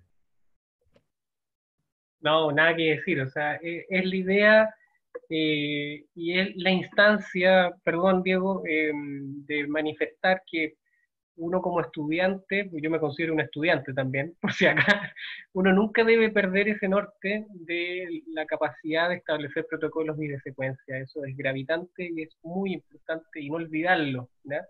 Si uno puede cometer el error que por egresar dice, ay, ya nadie me está mirando, así que ahora, guau, voy a pasar la piedra de lado a lado, total que no va No, pero ahí pueden generarse los problemas.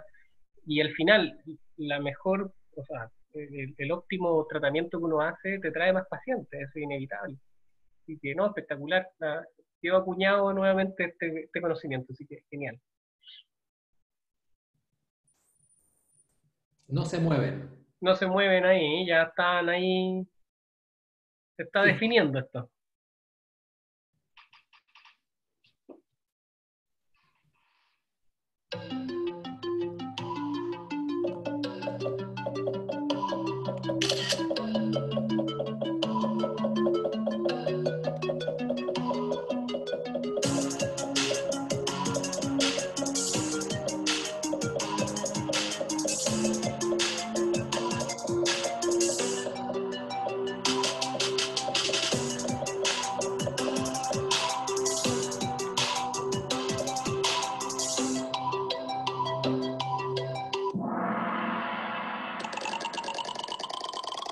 Profesor. Secuencia, tallado, perfecto. Estupendo. Y después te voy a mandar el pantallazo que saqué para que, No, ese, el profesor e LC. Espectacular. Sí, bueno, todo vale, todo vale porque todo vale, sí. me encantó.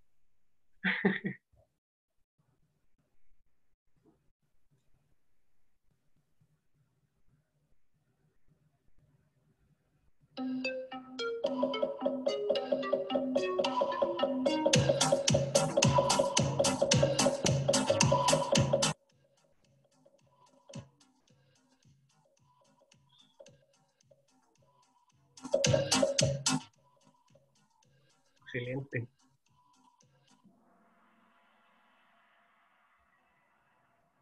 Fantástico, está, está muy... bien parejo, está bien, quieren de todo. Sí, está muy parejo y tengo que decirles a, a, todos los que eligieron cirugía maxilofacial, no se lo pierdan, este jueves tenemos al doctor Antonio Núñez que nos va a hablar de la tecnología 3D en relación a la cirugía maxilofacial. Así que no se lo pierdan, 19.30, las inscripciones abren mañana. Así que atentos a redes sociales. Patología oral, Francisca Donoso, cirujana maxilofacial de la Universidad de Chile, viene el miércoles 24 de junio hablarnos de VIH, SIDA y odontología. Así que no se lo pierdan porque va a mostrar muchísimas lesiones, va a mostrar muchísima cirugía y epidemiología. Pacientes especiales, no se lo pierdan. Este próximo lunes 22 tenemos, Esperanza, ¿a quién tenemos exactamente? Eh, para, para, que nos recuerdes, porque es un webinar que ha organizado la doctora Villasante para personas con discapacidades intelectuales. Camila Quintana se llama la doctora. Fantástico. Y nos va a ayudar el doctor Efraín Rojas a moderar. Fantástico. Va a estar también, va a estar el doctor Rojas y va a estar también como panelista nuestra amiga también y ah, eh, conferencista también de hace unos meses atrás. ¿No se acuerdan? va, no se acuerda, va a estar la, Carol, la, Carol, la Carola Pérez, va a estar con nosotros. Así que Perfecto. no se lo pierdan, no se lo pierdan. No, espectacular, un sueño de, de expositores. Qué buena Y- parrilla. En Dodoncia estamos, pro- estamos programando algo, así que atentos y bueno, espero que eso cumpla las expectativas de ustedes. Vamos a seguir con la última pregunta.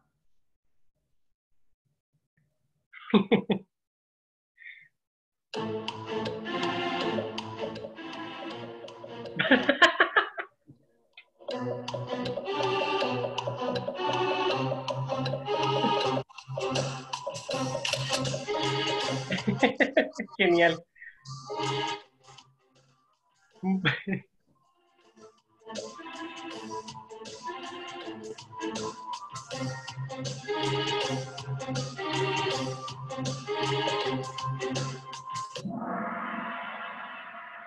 Espectacular. Ahora, los, que, los tres que respondieron, un grupo de apoyo logístico para saltar el Banco de España, lo vamos a tener en el tintero. Yo creo que también un poco de baile en, en- en el, en el- operativo, pero eh, Bailamos, sí, sí, está bien. También vale. se come de maravilla, así que no se lo pierdan si tienen oportunidad de postular. Nosotros les vamos a pasar el, el- la dirección de Instagram, el doctor García la va a poner en el chat, es arroba fuchot-cl, así que síganlos y estén atentos porque cuando se abran las postulaciones no hay muchos cupos. Sí, no, y sobre todo hoy por hoy viene, bueno, vamos- estén atentos porque se vienen buenas noticias, sobre todo para pa- apoyar a, a la primera línea del sistema de salud, que está muy colapsada, vamos a hacer un llamado ahí, eh, y también vamos a contar con tu ayuda, Diego, del paciente inglés, y que tienen, ahí atentos. Fantástico. Perfecto. No se mueve, se aparece, ¿eh? Se mueve. Antes que nada, antes de terminar, en primer lugar, queremos agradecerte, Bruno, de todo corazón. Yo en particular, porque sé cuánto trabajo y cariño le has puesto a este, a este webinar, a esta presentación tuya. Y, por supuesto, a nuestros auspiciadores Web Dental, Oral B Chile, Odontología Fácil y Anaceo. Muchas gracias a todos y vamos a ver a los ganadores. No se olviden de escribirnos si usted ganó un premio.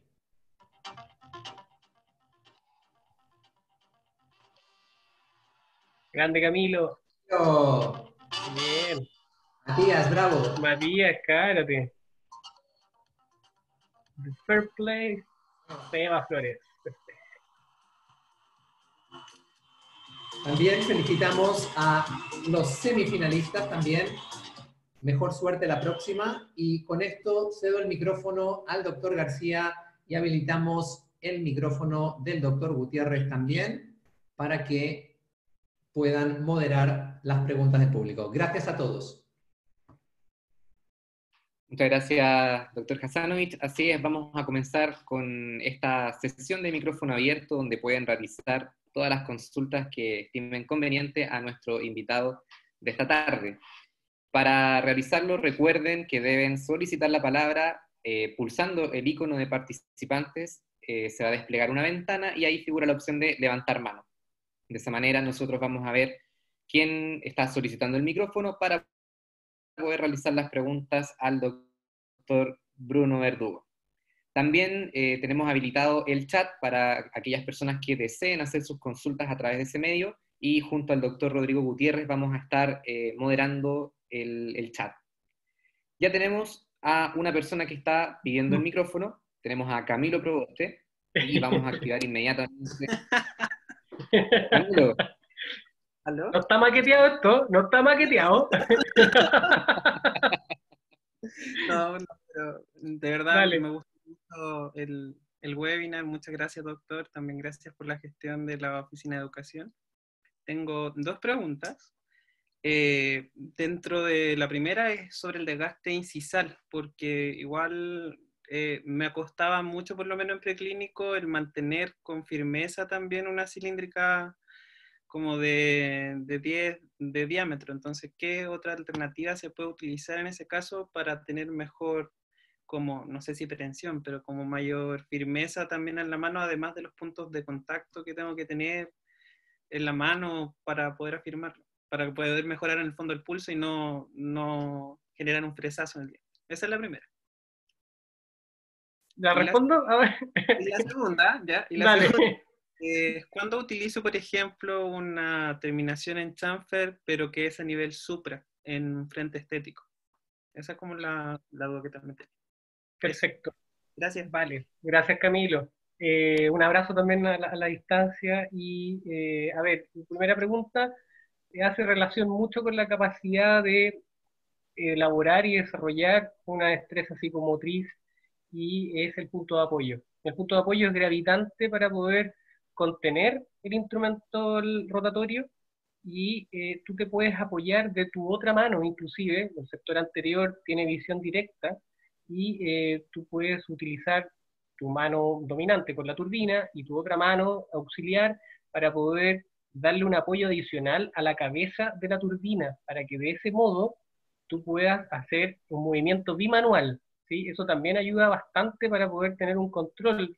¿Sí? Te entiendo, porque pasa, de repente se escapa la turbina y no es la idea. Ahora, uno puede utilizar eh, esta forma bimanual, como te digo, con tu mano eh, ayudante colocarla sobre la cabeza de la turbina para de ese modo hacer un movimiento más guiado o más controlado, ¿ya?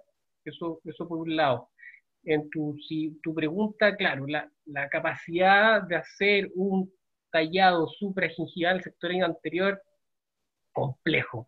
Pudiésemos hacerlo en relación a la valoración de la línea de la sonrisa de nuestro paciente. Si mi paciente tiene una sonrisa baja, eh, pudiésemos otorgar esta capacidad. Ahora también esto está ligado con los factores de riesgo de mi paciente, eh, Camilo. Si mi paciente tiene bajo o pobre manejo de biofilm dentario eh, o tiene riesgos cariogénicos muy elevados, una, una terminación a margen o 0,3 o 0,5 intraclavicular se hace complejo en esos pacientes si es que no manejo los factores de riesgo, ¿ya? Entonces, por un lado, la parte estética de eh, las líneas de la sonrisa, eh, de cuánto muestra de diente, si tiene sonrisa gingival, eso por un lado, y por otro lado, los factores de riesgo. No sé si con eso redondeo tu pregunta, Camilo. Perfecto. Camilo, creo que ya no estamos conectados con el micrófono, si nos puede responder a través del chat si es que la duda fue resuelta. Sí, levantó la manito y puso veo, veo arriba. Perfecto, genial.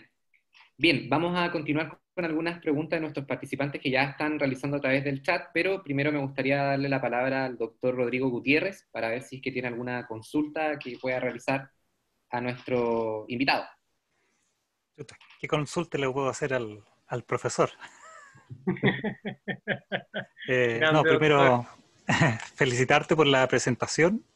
Eh, es súper bueno el ejercicio de contextualizar un poco de forma clínica eh, lo que nosotros hacemos como trabajo en simulación. y tú tocaste tres puntos muy importantes que nosotros también lo tocamos en, el curso y, y, también esto parte en simulación 1.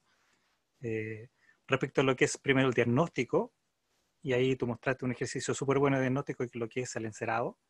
Eso es básico, el diagnóstico, porque necesitamos saber en qué paciente vamos a trabajar y las características del territorio específico. Así que diagnóstico, lo primero y lo más importante. Segundo, las herramientas de trabajo. Eh, nosotros le damos duro a lo que es que los alumnos sepan qué fresa están usando y que se apoyen mucho en la otra herramienta que son las matrices o las llaves de silicona.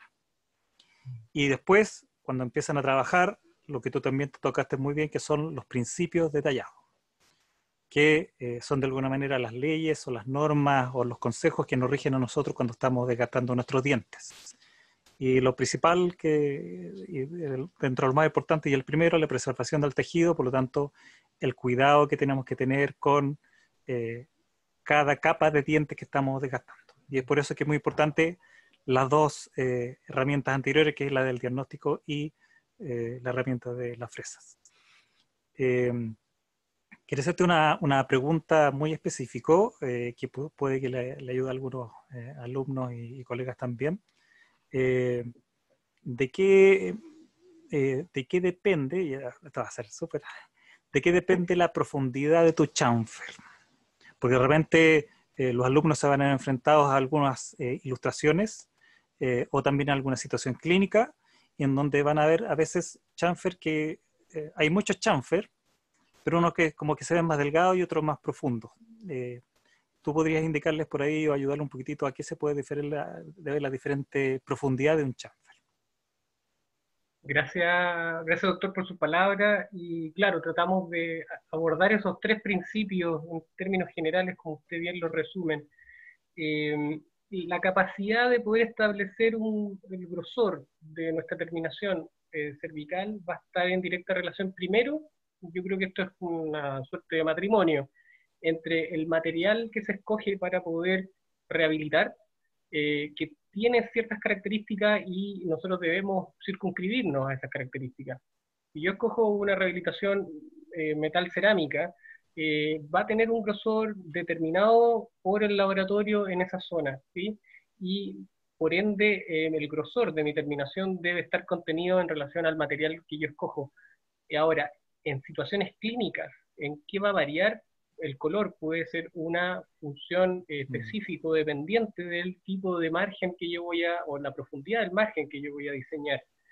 Desde otra perspectiva también la angulación de la pieza que va a tener en el macizo eh, maxilar o mandibular con respecto al eje o al plano que yo quiero dar, porque a veces puede darse ciertas circunstancias específicas en donde yo debo cambiar la angulación de la pieza dentaria. Ahora tengo un, margen y ahí pudiese que yo requerir un desgaste más, más, más grueso, más pronunciado en el sector cervical. Para mí, esas dos eh, situaciones que acabo de mencionar vendrían siendo este matrimonio que deberían estar en armonía. Y eso, como usted bien dijo, doctor, eh, está involucrado en la parte del diagnóstico preliminar, y debe estar circunscrito en las fases iniciales de nuestro tratamiento. Muchas gracias. Muchísimas gracias, doctor Gutiérrez, por la pregunta, doctor Verdugo, por, responder. Vamos a activar algunos micrófonos, ya que nos están solicitando la, palabra. Tenemos a Sarionet, vamos a continuar con ella. Sarionet. Y procedemos ¿Cómo está maqueteado esto? Hola, doctor. Hola, Sari, ¿cómo estás? mi pregunta es con respecto al mocap, que mucho no se habla y el año pasado a una compañera le tocó hacerlo. ¿Eso al final va cementado? ¿El paciente se lo lleva? Y si se cementa, ¿cómo se cementa? ¿Con qué?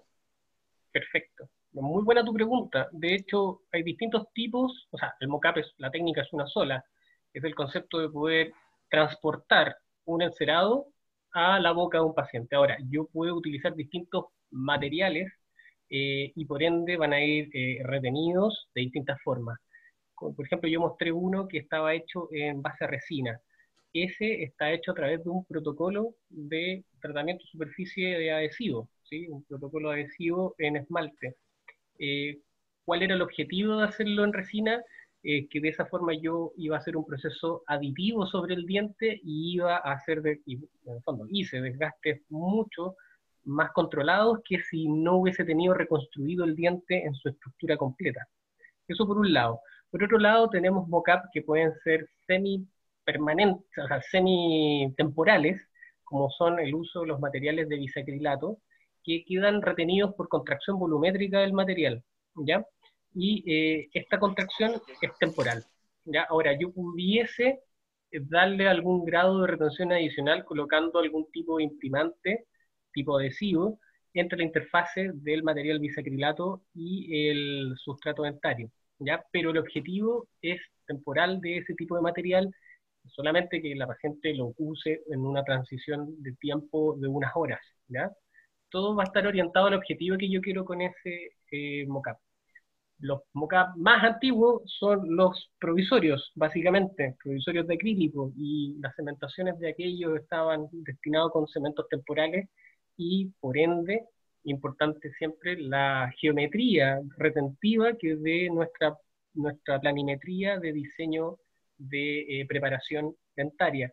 Eso también te va a ayudar un poco a saber cómo esto se va a comportar en el tiempo. Si el provisorio se cae, es porque la restauración, o sea, perdón, la preparación en el diseño cavitario o el diseño de la preparación del muñón protésico adolece de ciertas propiedades que acabamos de ver. No sé si con eso respondió un poquito Sari. Sí, súper. Gracias. Muchas gracias. Muchísimas gracias por la pregunta. Vamos a continuar con Carolina Bravo. Carolina, tampoco está también solicitando la palabra. Vamos a activar el micrófono. Vamos a ver si logramos conectar con Carolina. ¿Se escucha? Ahora sí, Carolina. Perfecto. Hola, hola, hola. Estaba súper atenta viendo la charla y quería consultarle una cosa que era eh, como mi mayor problema en preclínico y durante clínica, que era el descontacto proximal de, la pieza. Porque generalmente ahí eh, eh, tiendo siempre a, ¿cómo se llama? A, que la banda se rompa. Y, se rompe y se rompe y se rompe. es muy frecuente y, y, también le pasa a muchos compañeros. Entonces quería ver cómo de qué forma o con qué técnica se puede asegurar como un descontacto sin pasar a llevar el diente vecino y sin tampoco eh, eh, eh, gastar mucho en la zona interproximal del diente. Perfecto. Es buena tu pregunta porque en el proceso del desarrollo o adquirir las competencias psicomotrices que se dan en el preclínico, el doctor Rodrigo lo sabe a cañones, tú también, ese es un error frecuente el pasar a llevar el diente vecino. ¿sí? Eh, y de hecho, esta, esta capacidad de poder adquirir esta competencia ha evolucionado en distintas formas y capacidades de poder plasmarlo.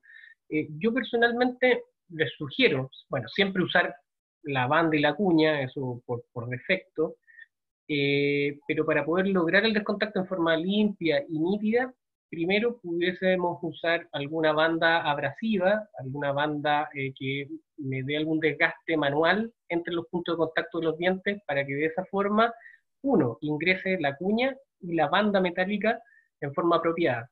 Pudiese inclusive colocarla en forma doble, ya eso también me ofrecería una doble protección. Y segundo, va en relación a lo que mencioné al comienzo. Eh, usar piedras de buena calidad, sobre todo la punta del lápiz o la tipo aguja, ¿sí? que nos referimos, si es de buena calidad y es de una piedra eh, de un diamante adecuado, vamos a lograr un corte limpio y bien nítido, sin, sin la capacidad de poder tocar el diente vecino. Y el tercer punto, que es súper importante, es orientar el corte siempre un poco tocando o abordando un poquito más de profundidad dentaria, considerando que mi desgaste final en las caras proximales de mi muñón protésico van a contenerse dentro de un margen de conicidad entre 6 a 12 grados. Entonces, eso me da la capacidad de poder angular la piedra para poder dar con ese corte y así no pasar a llevar la pieza vecina. Yo creo que el doctor Gutiérrez también podría argumentar y darte algunas soluciones en ese caso también le cedo la palabra. Sí, gracias Bruno. Sí, nosotros en simulación eh, le enseñamos la técnica de la, de la letilla, donde de toda... Se ríe ahí Camilo. Eh, que es una técnica que proviene también de una técnica para operatoria directa, que es una forma de preservar el punto de contacto del diente vecino. Y es eh, que uno realiza un desgaste en el interior del espacio que va a quedar una vez que hagamos la separación de los muñones. Entonces nosotros hacemos un desgaste, eso sí, siempre con una fresa muy fina, de vestibular a palatino, dejando una capa de esmalte muy delgado, sin eh, romper, que es la que está contactando con el diente vecino. Y nosotros hacemos la separación del muñón en ese eh, volumen de diente que más adelante va a formar parte del desgaste proximal. Por lo tanto, si en proximal y uno visualiza ahí el desgaste final van a ser de 2 milímetros, una vez que ya está preparado el muñón, nosotros usamos ese espacio de 2 milímetros para que en ese interior o en ese volumen nosotros hacemos esta separación. Entonces, finalmente, cuando eh, desgastamos esta letilla en la zona cervical, algunas veces se desgasta o se fractura, y, eh, pero nosotros hemos trabajado en el interior de ese espacio de desgaste. Entonces, si uno hiciera muy bien, respetara muy bien esa técnica y usara una fresa muy fina, hasta sería innecesario usar una banda matriz. De todas maneras, igual la usamos como doble protección, pero eh, es una técnica que nosotros les enseñamos a, los alumnos en, simulación clínica. La técnica de la letilla. Excelente. Gracias, doctor Gutiérrez, doctor Verdugo, por, por, responder, por la intervención. Vamos a esperar a ver si hay más preguntas a través del micrófono. Tenemos muchas muestras de cariño a nuestro invitado a través del chat, muchas muestras de agradecimiento. Hola, Paula, Paula Pablazo. Bien, tenemos algunas consultas. Tenemos a Nicolás Díaz que nos escribe, quisiera saber si para marcar las guías de desgaste vestibular se podría usar una fresa para carillas como opción. Para marcarlos, perdón, no te, no te caché. Sí, para marcar las guías de desgaste vestibular se podría usar una fresa para carillas como opción sí se puede, pero no lo recomiendo porque, a ver, la, capacidad en el fondo de poder evitar un desgaste mayor y necesario sobre la pieza dentaria, eh, lograr un desgaste mayor, idealmente yo recomiendo usar lápiz, no, no, no, tiene ningún, no hace ningún daño. Ahora, se puede, sí, pero el problema es que yo pudiese generar un desgaste adicional y no controlado. Ese sería el único pero, pero sí se puede. Perfecto, muchísimas gracias. Algunas preguntas también, más preguntas a través del chat. Camila Santibáñez nos escribe, cuando me tocó tallar me pasaba mucho que me inclinaba hacia axial en cervical en la cara vestibular y me costaba mantener las dos en eh, libaciones, no, entiendo esa palabra. Sí, el, perfecto. ¿Algún tip para superar esto? Sí, bueno, ahí lo mostramos en la presentación y es sí, un error común que se observa, eh, y no solo en el preclínico, chiquillos, varios colegas ya titulados que dejan un cilindro de dientes, ¿sí? Para poder evitar eso, es importante primero tener la conciencia de que hay una convexidad de la cara vestibular y segundo, tener la conciencia plena de la ubicación temporoespacial de la cabeza de la turbina con respecto a la piedra de corte que estoy utilizando para que esta piedra yo pueda angularla. Ese, es, ese es el mejor consejo que yo te podría dar. Eh, y desde esa perspectiva vas a lograr ese desgaste eh, anatómicamente y volumétricamente adecuado.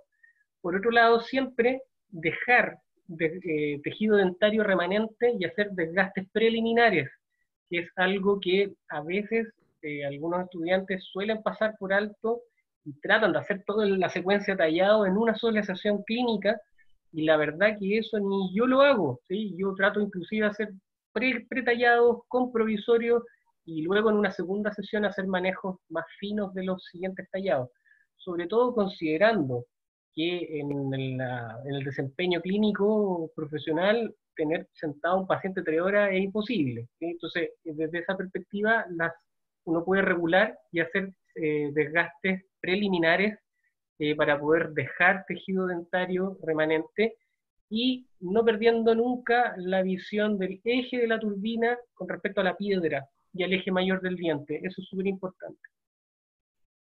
Yo creo que el doctor Rodrigo podría complementar también ahí. Ahí, estaba activando el micrófono. Sí, eh, nuevamente como tú dices, eh, las herramientas son las fresas y nosotros usamos mucho como herramienta, sobre todo en su primera etapa de los alumnos, la llave de silicona, que de alguna manera nos muestra cuál es el contorno final o el contorno que tenía el diente inicial o el contorno final o el contorno final de la restauración. Por lo tanto, una manera de respetar anatomías es eh, confrontándola con el diente que está intacto y eso es utilizando esta llave de comprobación o, matriz, y con eso uno va evaluando si tu desgaste está respetando la anatomía eh, que tú buscas o la anatomía que tenía previamente el diente. Por lo tanto, primero hay que ser muy conservador, como dice el doctor, de gastar un poco menos de lo que se necesita, de tal manera que si necesita hacer alguna corrección, todavía tienes tejido para desgastar. Y usar las herramientas que uno tiene de, de medición. Las fresas, que es la profundidad, y la matriz que nos da la forma.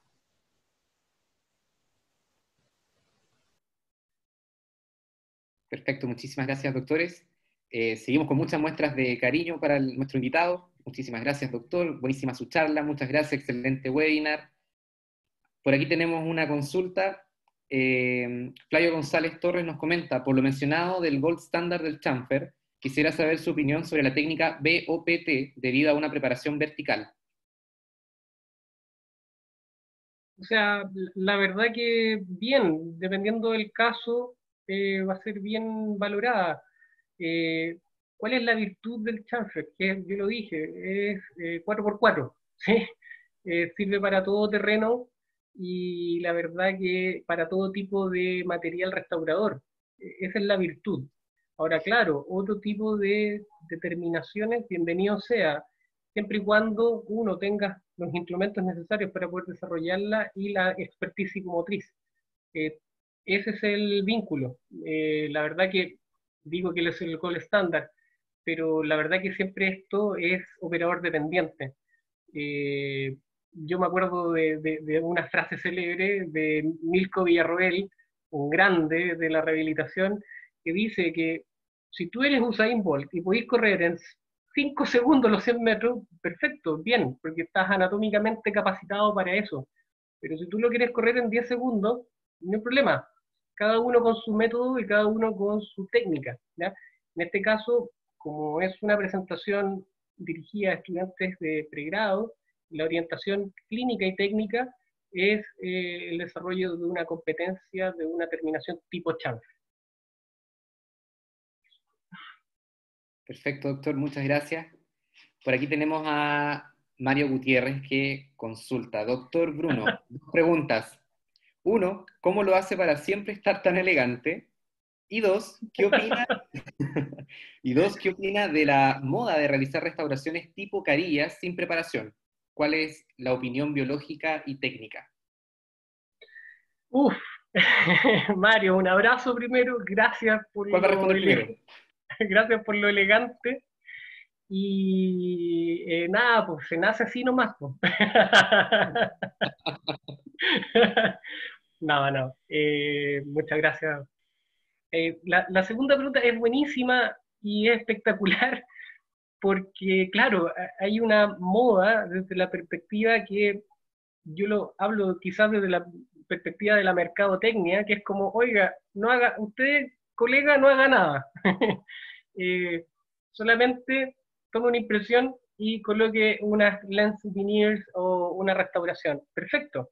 ¿Dónde está el inconveniente? Por lo menos desde mi perspectiva. Eh, yo creo que toda técnica eh, tiene un asidero y toda técnica tiene una ubicación respectiva y propia para cada situación clínica.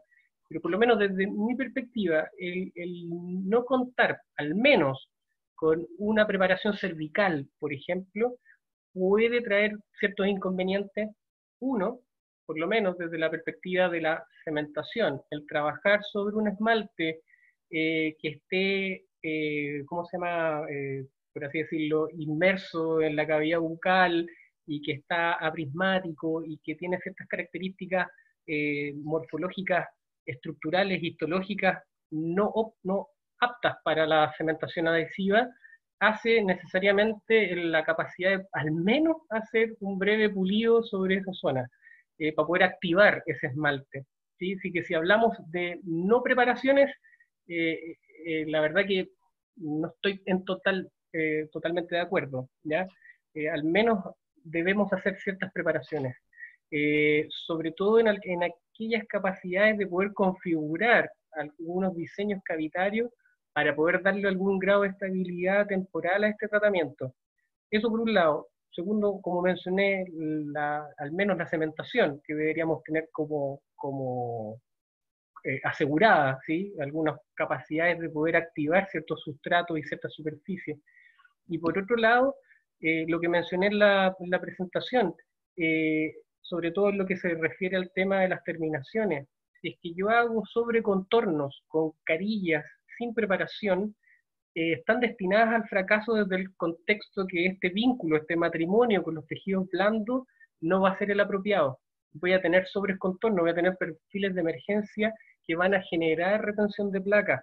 desde esa perspectiva es importante considerar quizás algunas, algunos tallados, ya quizás no todos, pero por lo menos deberían estar inmersos algunos. No sé si con eso respondo al, al gran maestro. Gracias, Mario. Nos escribe tremendo, un elegante. Muy bien, tenemos muchas muestras de cariño, doctor, a través del chat. Eh, ya no nos quedan más preguntas. Eh, los invito también nuevamente, si es que necesitan, o sea, perdón, si quieren realizar, tienen alguna duda, alguna consulta, lo puedan realizar a través de eh, la solicitud del micrófono para que aprovechen la oportunidad de no perder ninguna oportunidad de resolver las dudas con nuestro invitado, el doctor Lugo. Mientras tanto, me gustaría saber, doctor Gutiérrez, no sé si le gustaría comentar algo más.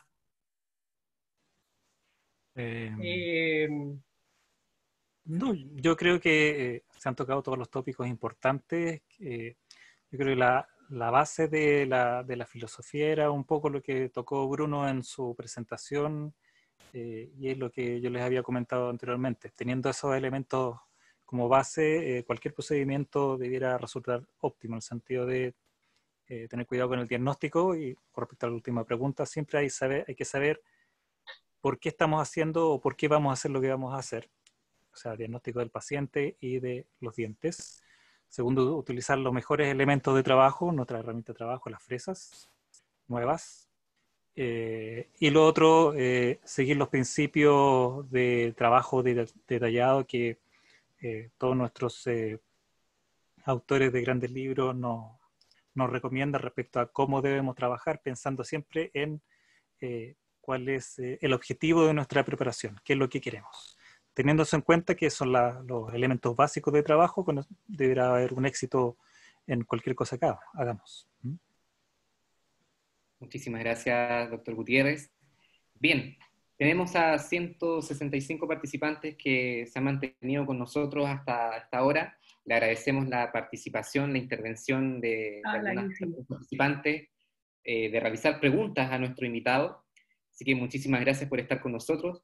Eh, aprovecho de agradecer también al doctor Rodrigo Gutiérrez, que participó como panelista y nos ayudó a moderar en este nuevo webinar. Doctor, muchas gracias por apoyarnos y estar con nosotros.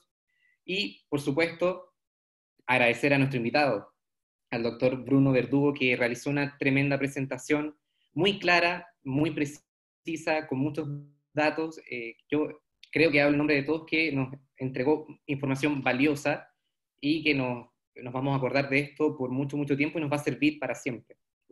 Y también por eh, estos mensajes de esperanza que nos entregó a través de su presentación. Así que, doctor, el profesor, muchísimas gracias, un abrazo tremendo y esperamos verlo en una próxima oportunidad.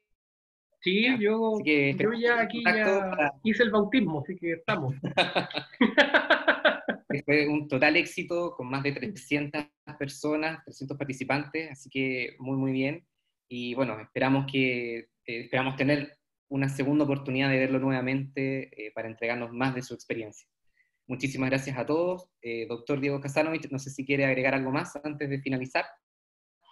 Solamente reiterar mi agradecimiento en primer lugar a nuestro invitado y a nuestro también invitado, eh, primero Bruno Verdugo y el doctor Gutiérrez también por estar aquí eh, como expertos en, en, su área y especialistas en rehabilitación oral. Muchas gracias también por preparar algo para nuestros estudiantes en los tiempos que nos ha tocado vivir y como coincido con el doctor García, darnos un poquito de, de esperanza, de no desesperar y hablando de esperanza, tengo que agradecer a mi, a mi mano derecha, Esperanza Villasante, que es mi esperanza. Eh, no, no, no, puedo funcionar eh, sin ella y sin Nicolás García, por supuesto. Así que gracias a ambos. Saludos a todos. No se pierdan los próximos eh, webinars. Y Nico, si quieres cerrar, adelante. Sí, solo reiterar la invitación de seguir nuestras redes sociales, nuestras cuentas de Instagram, para estar al tanto de las futuras conferencias que se van a ir realizando. También son todos bienvenidos a revisar nuestro canal de YouTube, donde ya eh, se han cargado algunos de nuestros webinars y estén atentos a toda la información que pueda ir surgiendo para estar al tanto de los futuros invitados. Muchas gracias eh, por su participación y los esperamos en un futuro webinar. Doctores, muchas gracias. Muy buenas noches. No se